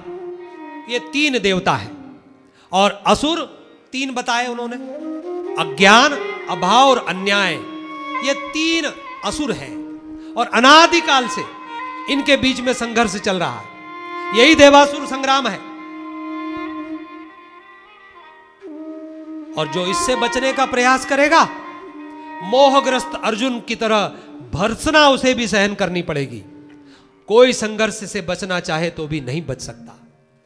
जब अर्जुन ने भी अपने बाण धनुष रख दिए और रथ के पीछे जाकर अर्जुन बैठ गए, तब भगवान ने भी यही कहा था, इस समय,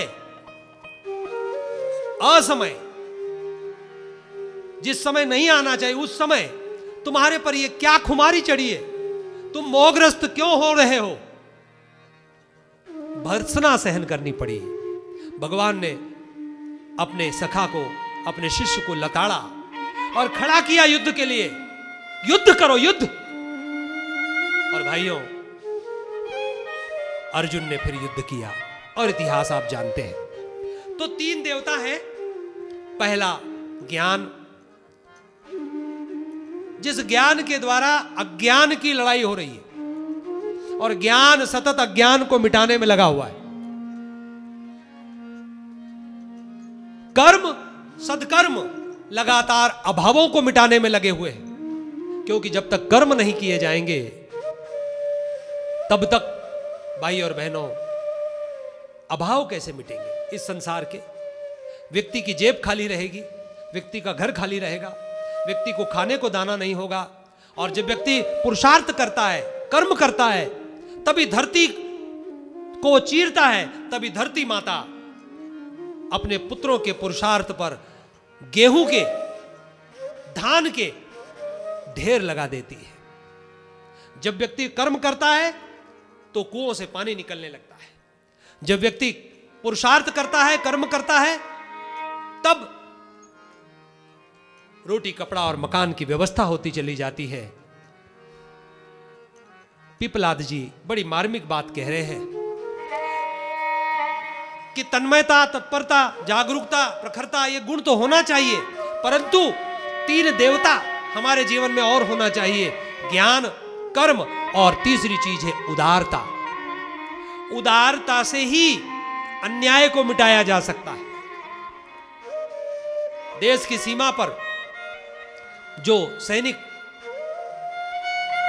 रखवाली करते हुए शहीद होते हैं, खबरदार कोई ये बात मत कहना। कि वो नौकरी के लिए सैनिक बना है। ना।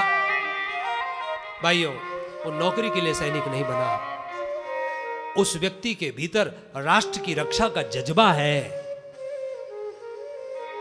किराए के पैसों से आप गुंडे और आतंकवादी तो बना सकते हो, लेकिन किराए के पैसों से आप सैनिक नहीं बना सकते। शहीद नहीं बना सकते। हम सैल्यूट करते हैं भारत की सेना को। हम सैल्यूट करते हैं देश की आंतरिक और देश की सीमाओं पर लड़ रहे हमारे योद्धाओं को, जिनकी कुर्बानियों के कारण आज आप और हम सुरक्षित हैं, महफूज हैं, आनंदित हैं। भारत माता के उन तमाम लालों को, बेटे और बेटियों को, जो देश पर कुर्बान हुए, उन तमाम सैनिकों को हम सब नमन करते हैं, हम सब उनको दंडवत करते हैं, हम सब उनको सैल्यूट करते हैं।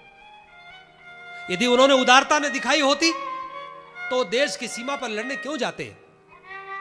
राष्ट्र के भीतर किसी की कोई रक्षा करता है, जब तक वो उदारता से त्याग न करता, तब तक वो कैसे हो सकता था काम?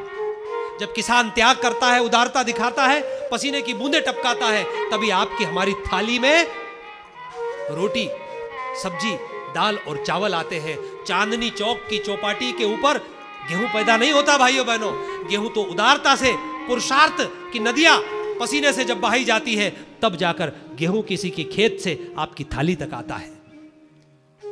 दुर्वासा जी महाराज, पिपलाद जी, बड़ी मार्मिक बात उनको बता रहे हैं कि इन तीन देवों के द्वारा तीन असुरों का वध किया जा सकता है, जिससे समाज पोषण और पुष्टता को प्राप्त होता है।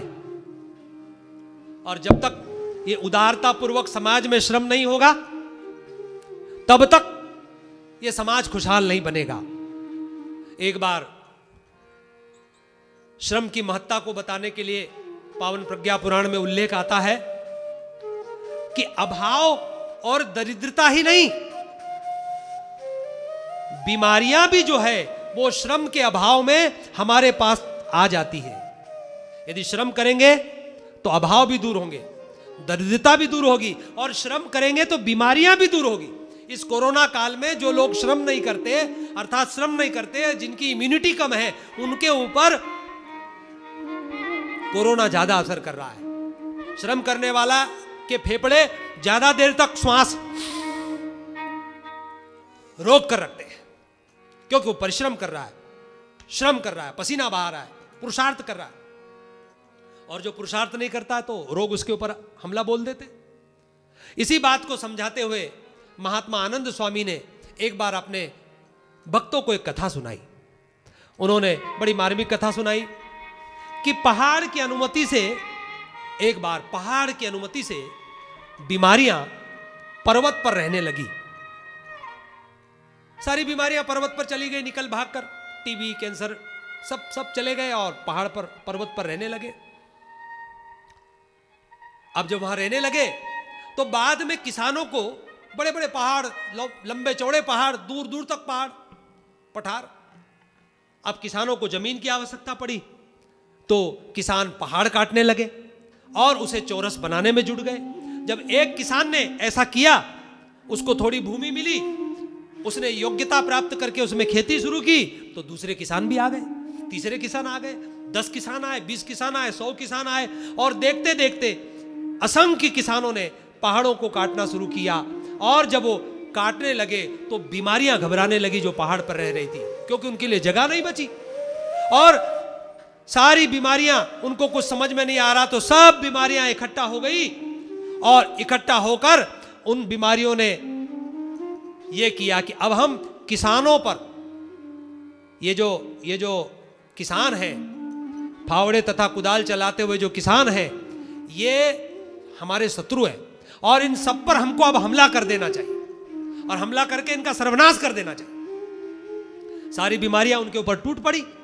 भाइयों और बहनों, क्या होता है कि सारी बीमारियाँ टीबी अपना लक्षण लेकर दौड़ी, कैंसर अपना लेकर दौड़ा और सर्दी जुकाम अपना लेकर दौड़ा, कोरोना अपना लेकर दौड़ा और वो किसानों से जा जाकर सब लिपटने लगी। किन किसानों से?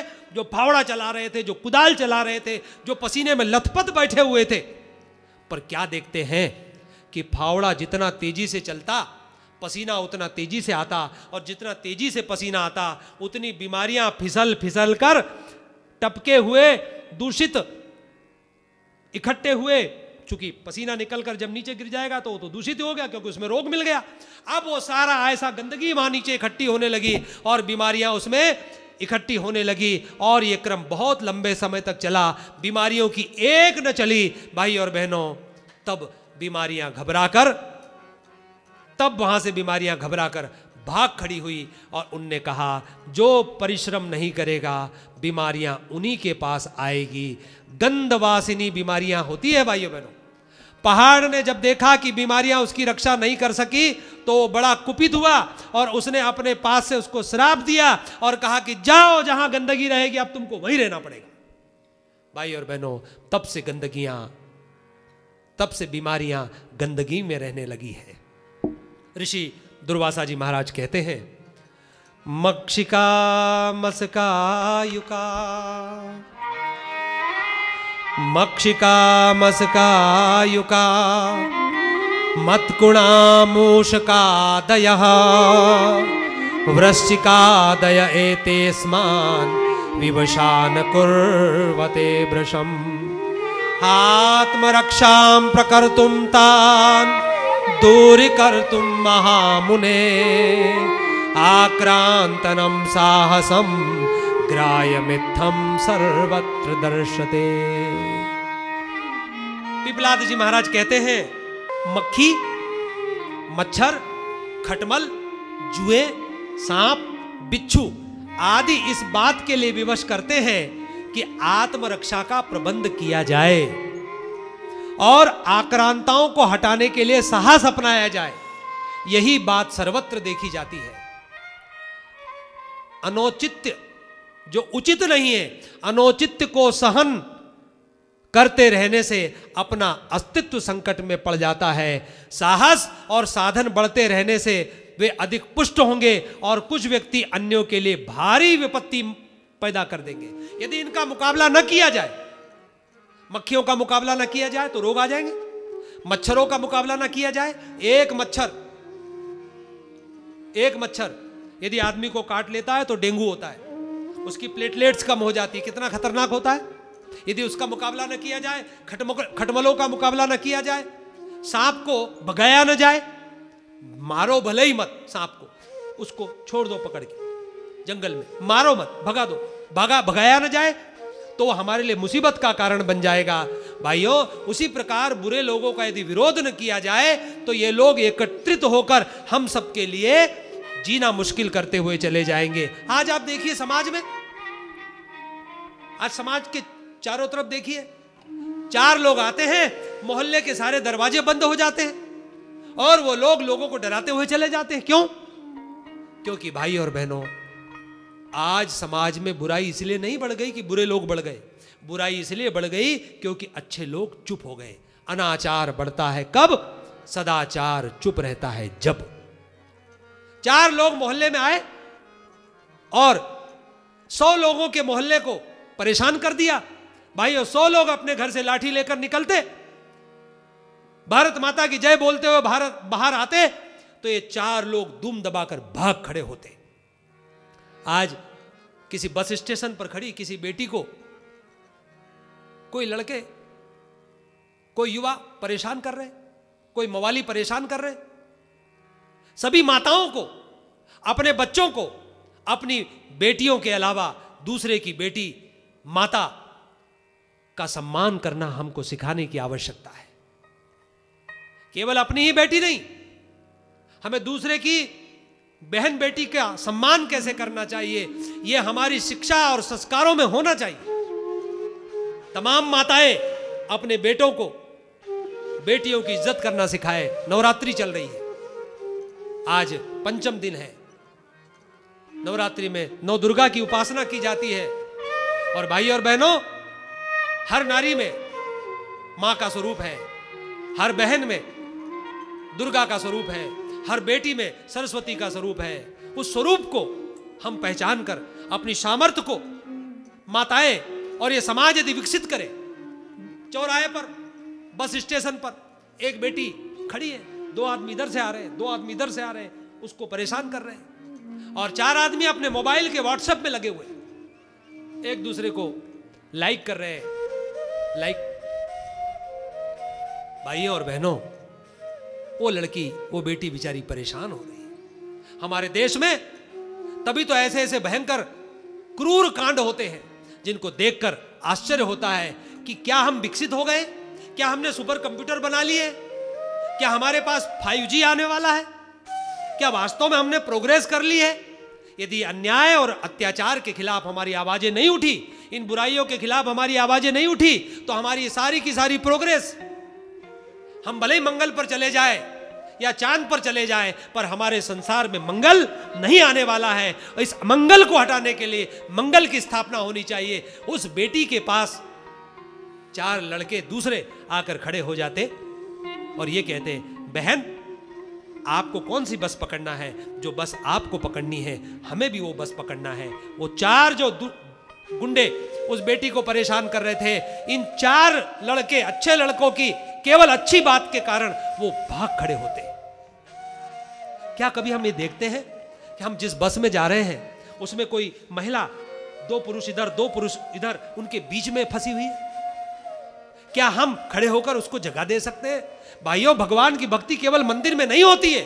भगवान की भक्ति तो सर्वत्र। ये संसार भगवान का मंदिर है और यहाँ का हर एक मनुष्य, नर और नारी, उसमें भगवान का निवास है। यदि हम इनके प्रति मोहब्बत कर सकते हैं तो भगवान से मोहब्बत होना निश्चित ही होता चला जाएगा। इसलिए आपको हमको संघर्ष करना चाहिए। इस संसार में संघर्ष की आवश्यकता है। इस संसार में बुराइयों के खिलाफ लड़ने की आवश्यकता है। और आज दुर्वासा ऋषि सत्साहस और संघर्ष प्रकरण में यही प्रश्न कर रहे हैं और दुर्वासा ऋषि के प्रश्नों का जवाब पिपलाद जी महाराज बड़े खूबसूरत तरीके से दे रहे हैं और हमारे ऋषि क्या कहते हैं? संग्राम ज़िंदगी है, लड़ना इसे पड़ेगा। इतिहास कुछ नहीं है, संघर्ष की कहानी इतिहास कुछ नहीं है। संघर्ष की कहानी। राणा शिवा भगत सिंह, झांसी की वीर रानी। राणा शिवा भगत सिंह, झांसी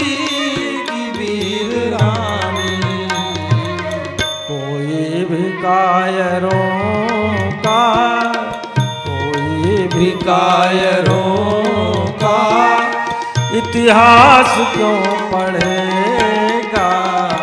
इतिहास क्यों पढ़ेगा? संग्राम ज़िंदगी है, लड़ना उसे पड़ेगा। लड़ना उसे पड़ेगा। जो लड़ नहीं सकेगा। जो लड़ नहीं सकेगा, आगे नहीं बढ़ेगा।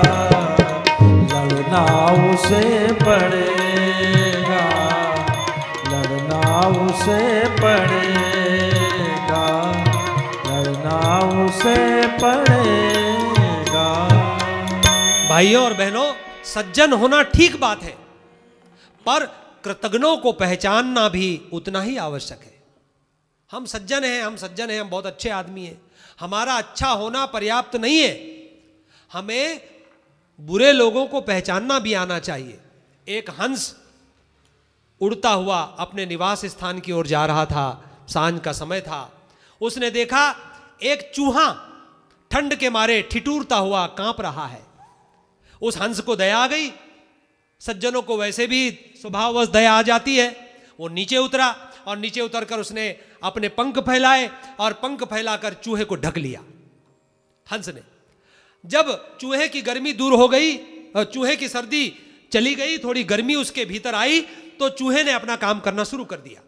चूहे ने पंखों से जिस हंस ने उसको ढककर गर्मी दी थी, ठिठुरती ठंड में उस हंस के पंखों को कुतरना शुरू कर दिया और थोड़ी देर में उसके पंख सारे उसने काट डाले।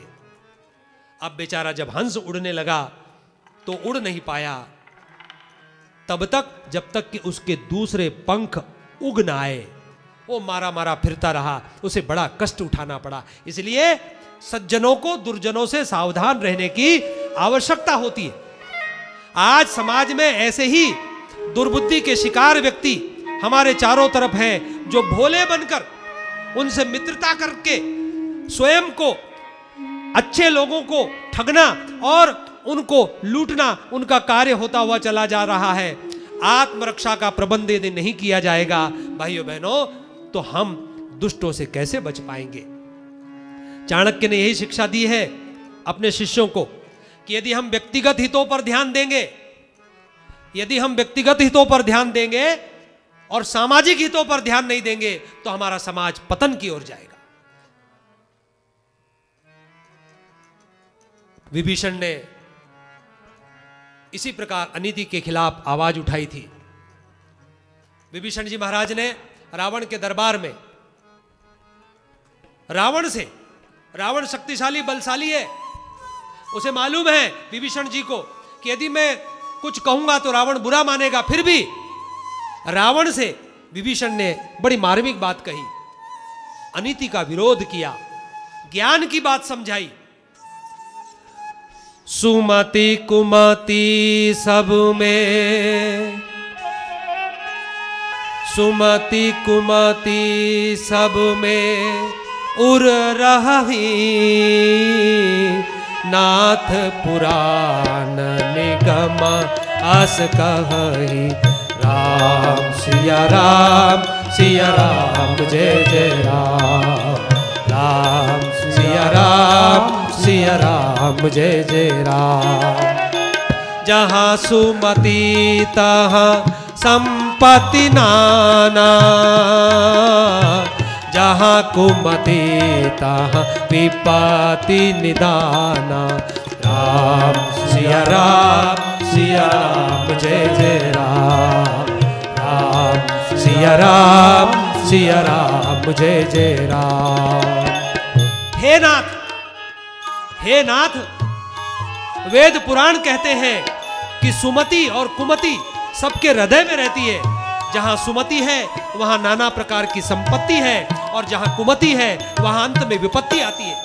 हे तात हे बड़े भैया, आपके अंदर कुमति का निवास हो जाने से आपका मन उल्टा चल रहा है और उससे आप भलाई को, बुराई और मित्र को शत्रु समझ रहे हैं। ये बात रावण को, उन्हीं के दरबार में उनके मंत्री भाई विभीषण ने समझाई। और जब ये बात रावण को समझाई तो उत्तेजित होकर रावण ने कहा, तू मेरे राज्य में रहता है, तू मेरी रोटी खाता है और शत्रु से प्रेम करता है। अतः जा, उसी के पास तू चला जा, जहाँ से तुझे नीति की शिक्षा मिली है। उन्होंने रावण रावण ने विभीषण को अपने महल से, अपने मंत्रालय से निकाल दिया। और भाइयों, जब समझाने पर भी कोई खोटा मार्ग न छोड़े तो उससे संबंध त्याग ही लेना चाहिए। अनित्याचरणम पापम यथा, भीरुतया तथा, तस्या अप्रतिरोधोपि पापमेवानुविध्यते। वस्तुतो भीरवस्ते ही दुष्टतां पोषयन्त्यलम् वरं संघर्षशीलास्ते स्वयं ग्रहणंतु हानिकारकम अनीति करना जितना पाप है, उतना ही कायरतावश उसका प्रतिरोध करना भी पाप के समान समझा जाता है। और कायर ही दुष्टता, कायर ही दुष्टता का परिपोषण करते हैं। जूझने वाले भले ही स्वयं घाटे में दिखाई दे, परंतु साहसिकता, धर्मनिष्ठा उनके ही हिस्से में आती हुई चली जाती है। भाइयों बहनों, इसीलिए वेद कहता है, भागो मत, बदलो संसार। वेद मंत्र की यही पुकार। स्वामी विवेकानंद जी, बड़ी मार्मिक बात कहते हैं कि एक बार उनको काशी में निवास करना था, वो काशी में निवासरत थे और उनके पास कुछ केले रखे हुए थे। वो केले लेकर बैठे और बैठकर खाने लगे। इतने में लाल मुँह के वानर बंदर आ गए और उनकी तरफ़ दौड़े। जब वो दौड़े तो स्वामी विवेकानंद उठकर खड़े हुए और स्वयं भी दौड़े। स्वामी विवेकानंद जी भागे, उनके पीछे वानर भागे उनको झपट्टा मारने के लिए, तब वहाँ एक दूसरे साधु बैठे थे। उन्होंने कहा, रुको स्टॉप टर्न रुको और मुड़ो। भाइयों, वानर पहले पीछे दौड़े। स्वामी विवेकानंद जी आगे भाग रहे। और अब जैसे ही दूसरे साधु ने कहा, रुको और मुड़ो, और जैसे ही रुके और मुड़े तो क्या हुआ? वानर भी रुक गए और वानर भी मुड़े। पहले वानर स्वामी जी के पीछे थे, अब वानरों के पीछे स्वामी जी थे। अर्थात वानरों को स्वामी विवेकानंद ने दौड़ाया नहीं, वानर भाग गए। जैसे ही मुड़े तो भाग गए। भाई और बहनों, परिस्थितियों से भागना कायरता कहलाता है, और का पुरुष कायर पुरुष भय, कष्ट और अज्ञान के द्वारा दुख को भोगते चले जाते हैं। और जब हम इनका सामना करेंगे, ये भय रूपी बंदर का ये कष्ट रूपी वानर का, ये अज्ञान रूपी चौपाए का जब हम मुकाबला करेंगे और जब हम शिक्षा के द्वारा इनसे मुकाबला करेंगे, तब हम भी इनका मुकाबला करके बुराई पर विजय प्राप्त करेंगे। स्वामी विवेकानंद ने तब ये बात कही, माँ भय, निर्भय बनो। उनके वाक्यों में अक्सर ये बात आती है, निर्भय बनो। किससे डरना है हमें? हमें परमात्मा से डरना है। किससे डरना है हमको? हमको बुराई से डरना है। अच्छाई से डरने की ज़रूरत नहीं है। अच्छे लोगों से डरने की ज़रूरत नहीं है। बुरे लोगों से भी डरने की ज़रूरत नहीं है। हमको बुराई से डरना है और बुरे लोगों के खिलाफ खड़े होते हुए चला जाना है। आतंकवादिनां भक्तुम साहसां प्रतिरोधना अतिरिक्तो न वै मार्गम कोप्यास्तिकम महामुने पिपलाद ने, अष्टावक्र पिपलाद ने दुर्वासा ऋषि महाराज से कहा कि आतंकवादियों के हौसले तोड़ने के लिए प्रतिरोध के अतिरिक्त तो कोई मार्ग नहीं।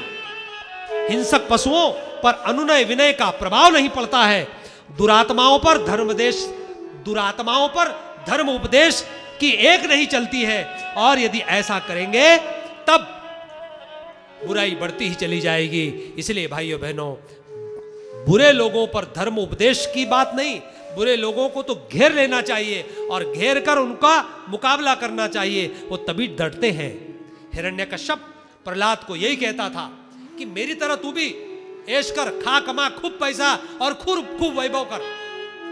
हिरण्य हिरण्य कश्यप ने जब ये बात कही कि तुम खूब धन संपत्ति अर्जित करो, मेरी हर बात मानो, तब प्रहलाद ने एक ही बात कही थी, आप मेरे पिता हैं इस नाते आप मेरे से केवल शारीरिक सेवा ले सकते हैं।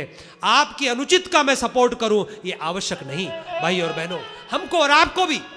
महाराणा प्रताप ने जंगल में घास की रोटी खाना स्वीकार कर लिया, पर उन्होंने विदेशियों से, आतताइयों से संधि करना स्वीकार नहीं किया। घास की रोटी, अपने बच्चों को घास की रोटी बनाकर खिलाई और एक रोटी बिलाव आकर ले गया। उस समय में जब महाराणा प्रताप उदास हो गए, तब उनकी पत्नी ने कहा, बच्चों का मोह मत करो।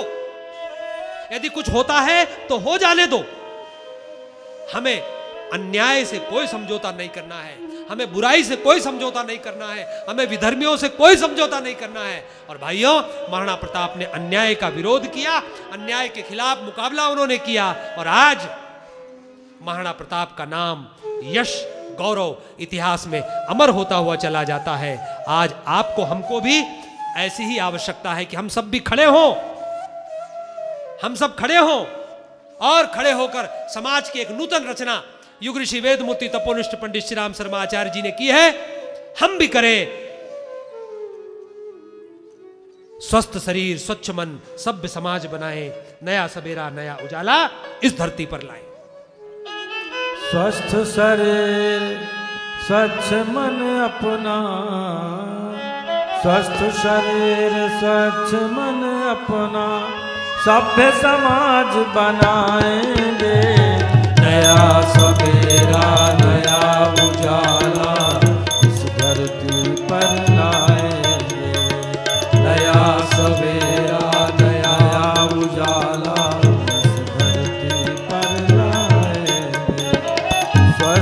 शरीर स्वच्छ मन अपना सभ्य समाज बनाएँगे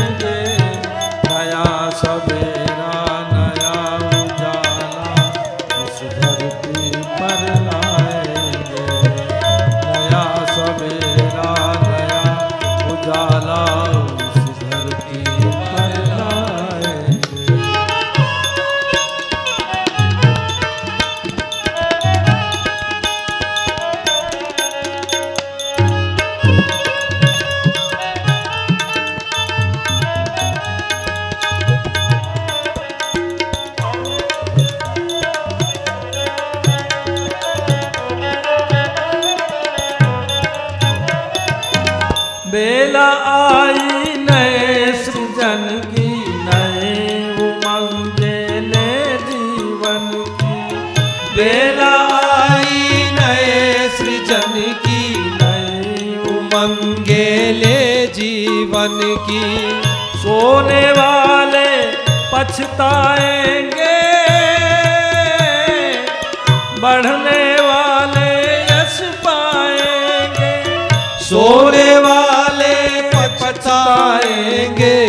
बढ़ने वाले यश पाएँगे।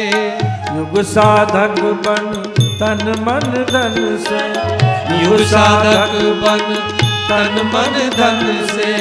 हम युग धर्म निभाएँगे। नया सवेरा नया उजाला इस धरती पर लाएँगे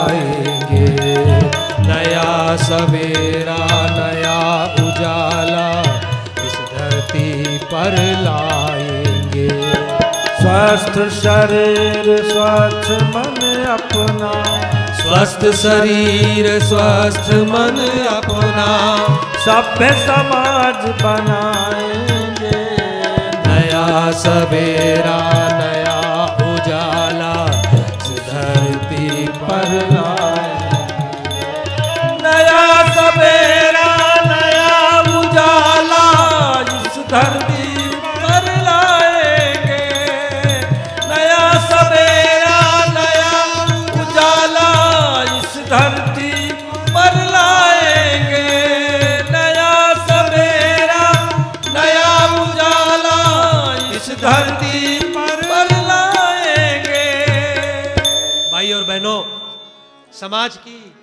रूढ़ियों, कुरीतियों, अन्याय और अत्याचार के खिलाफ आज आवश्यकता हो गई है कि हम जागृत हों। समाज में भयावह रूढ़ियाँ, भयंकर कुपरंपराएँ, मृतक भोज, खर्चीली शादियाँ, घूंघट, नशे, जाने कितनी ऐसी मूढ़ मान्यताएँ, रूढ़ियाँ आ गई है जो आज हमारे समाज को खोखला करती चली जा रही है।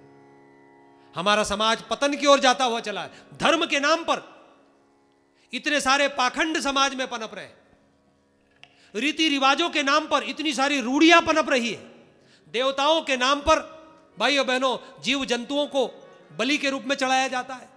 आज जब इतना समाज आधुनिक और वैज्ञानिक होता जा रहा है, वहाँ भी लोग इतना लंबा लंबा घूंघट करके बैठे हुए बड़ी विचित्र परंपराएँ हमारे देश में चल रही है। इसलिए हमको और आपको जागृत होने की आवश्यकता है।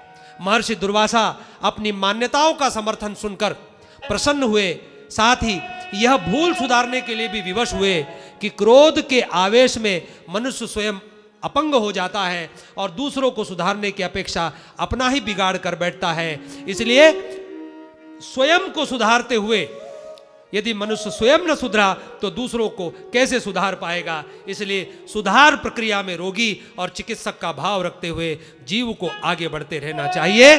भाई और बहनों, आज समाज के प्रत्येक युवा से, प्रत्येक सुधी जन से, प्रत्येक ज्ञानी जन से ये बात कही जा रही है कि वो जागृत हो और जागृत होकर आपको पुकारा जा रहा है। आज के पावन प्रज्ञा पुराण में हम अपनी कथा को समापन की ओर ले जा रहे हैं और सारे समाज को जागने की आवश्यकता है। आज आपको ये प्रज्ञा पुराण कथा पुकार लगा रही है कि आप जागो और खास करके युवा शक्ति से प्रार्थना की जा रही है कि युवा शक्ति जागे और जाग कर अपने समाज को समयदान, अंशदान, प्रतिभादान, गायत्री उपासना यज्ञीय परंपरा के द्वारा एक नूतन समाज की नए युग की रचना करने में आज वो मोर्चा ले अनिति के खिलाफ खड़ी हों। अन्याय के खिलाफ खड़े हों। आज युग पुकारता जाग नौजवान रे। मोर्चे संभाल मोर्चे संभाल संभाल तू कमान रे। आज युग पुकारता जाग नौजवान रे। आज युग पुकारता जाग नौजवान रे। मोर्चे संभाल रे संभाल तू कमान रे। मोर्चे संभाल रे आज युग पुकारता जाग नौजवान रे। आज युग पुकारता जाग नौजवान रे।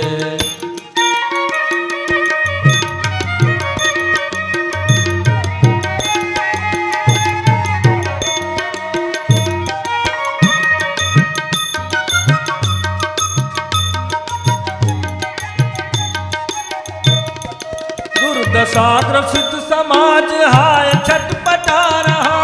दुर्दशाग्रसित समाज हाय छटपटा रहा भ्रष्ट हुआ तंत्र, राष्ट्र संपदा मिटा रहा भ्रष्ट हुआ तंत्र, राष्ट्र संपदा मिटा रहा मोह सिला है न्याय का मोह सिला है न्याय का। मौन है विधान रे, आज पुकारता जाग नौजवान रे।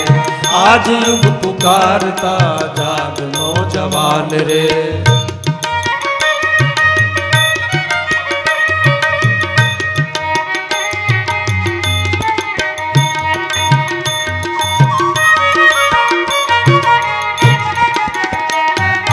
खोखला समाज को बना रही कुरीतियाँ। खोखला समाज को बना रही कुरीतियाँ। मृत्यु भोज हो रहे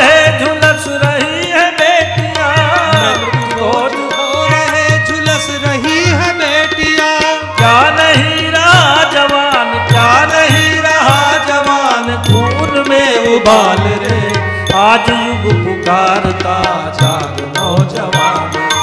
आज युग पुकारता जाग नौजवान। मोर्चे संभाल, तू संभाल रे कमान। मोर्चे संभाल रे, संभाल तू कमान रे। आज युग पुकारता जाग नौजवान रे। आज युग पुकारता जाग नौजवान रे। आज युग पुकारता जाग नौजवान रे। आज युग पुकारता जाग नौजवान रे।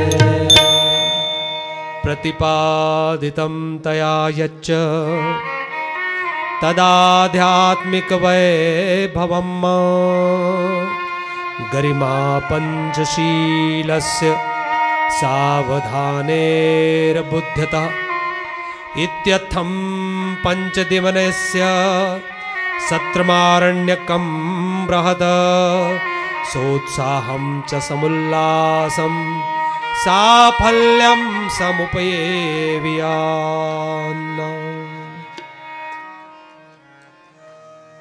सत्साहस संघर्षशील प्रकरण में पिपलाद जी महाराज ने दुर्वासा जी महाराज के प्रश्नों का बड़ा सुंदर जवाब दिया।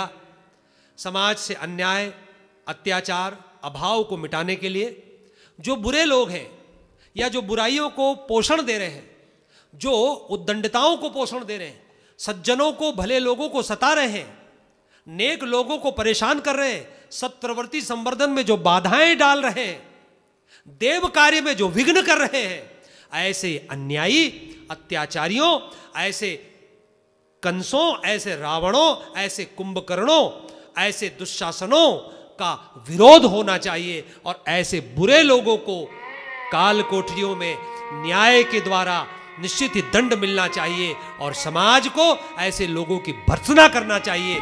समाज के ऐसे लोगों को समाज से बहिष्कृत कर देना चाहिए, जो लोग मानव जाति के पतन का कारण है, जो लोग मानव समाज को दुख और कष्ट की ओर ले जा रहे हैं।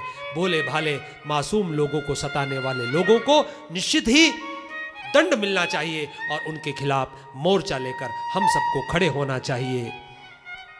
देश की रक्षा कौन करेगा? हम करेंगे हम करेंगे। राष्ट्र की रक्षा कौन करेगा? हम करेंगे हम करेंगे।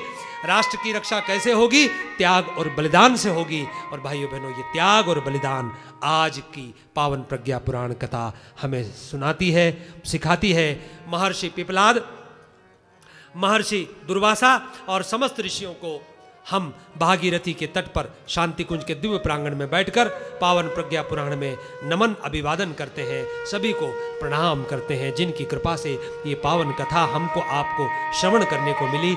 व्यासपीठ को परम पूज्य गुरुदेव वंदनी माता जी के श्री चरणों में हम नमन अभिवादन करते हैं। ओम नमोस्त्वनंता सहस्रमूर्ते सहस्रपादाक्षशिरोरुबाहवे। सहस्रनाम्ने पुरुषाय शाश्वते सहस्रकोटि युगधारिणे नमः। सहस्रकोटि युगधारिणे हमारे YouTube channel Shanti Kunj video Gayatri Pariwar को सब्सक्राइब करें एवं बेल आइकन ज़रूर दबाएँ ताकि गायत्री परिवार की विभिन्न गतिविधियों की जानकारी आपको मिलती रहे।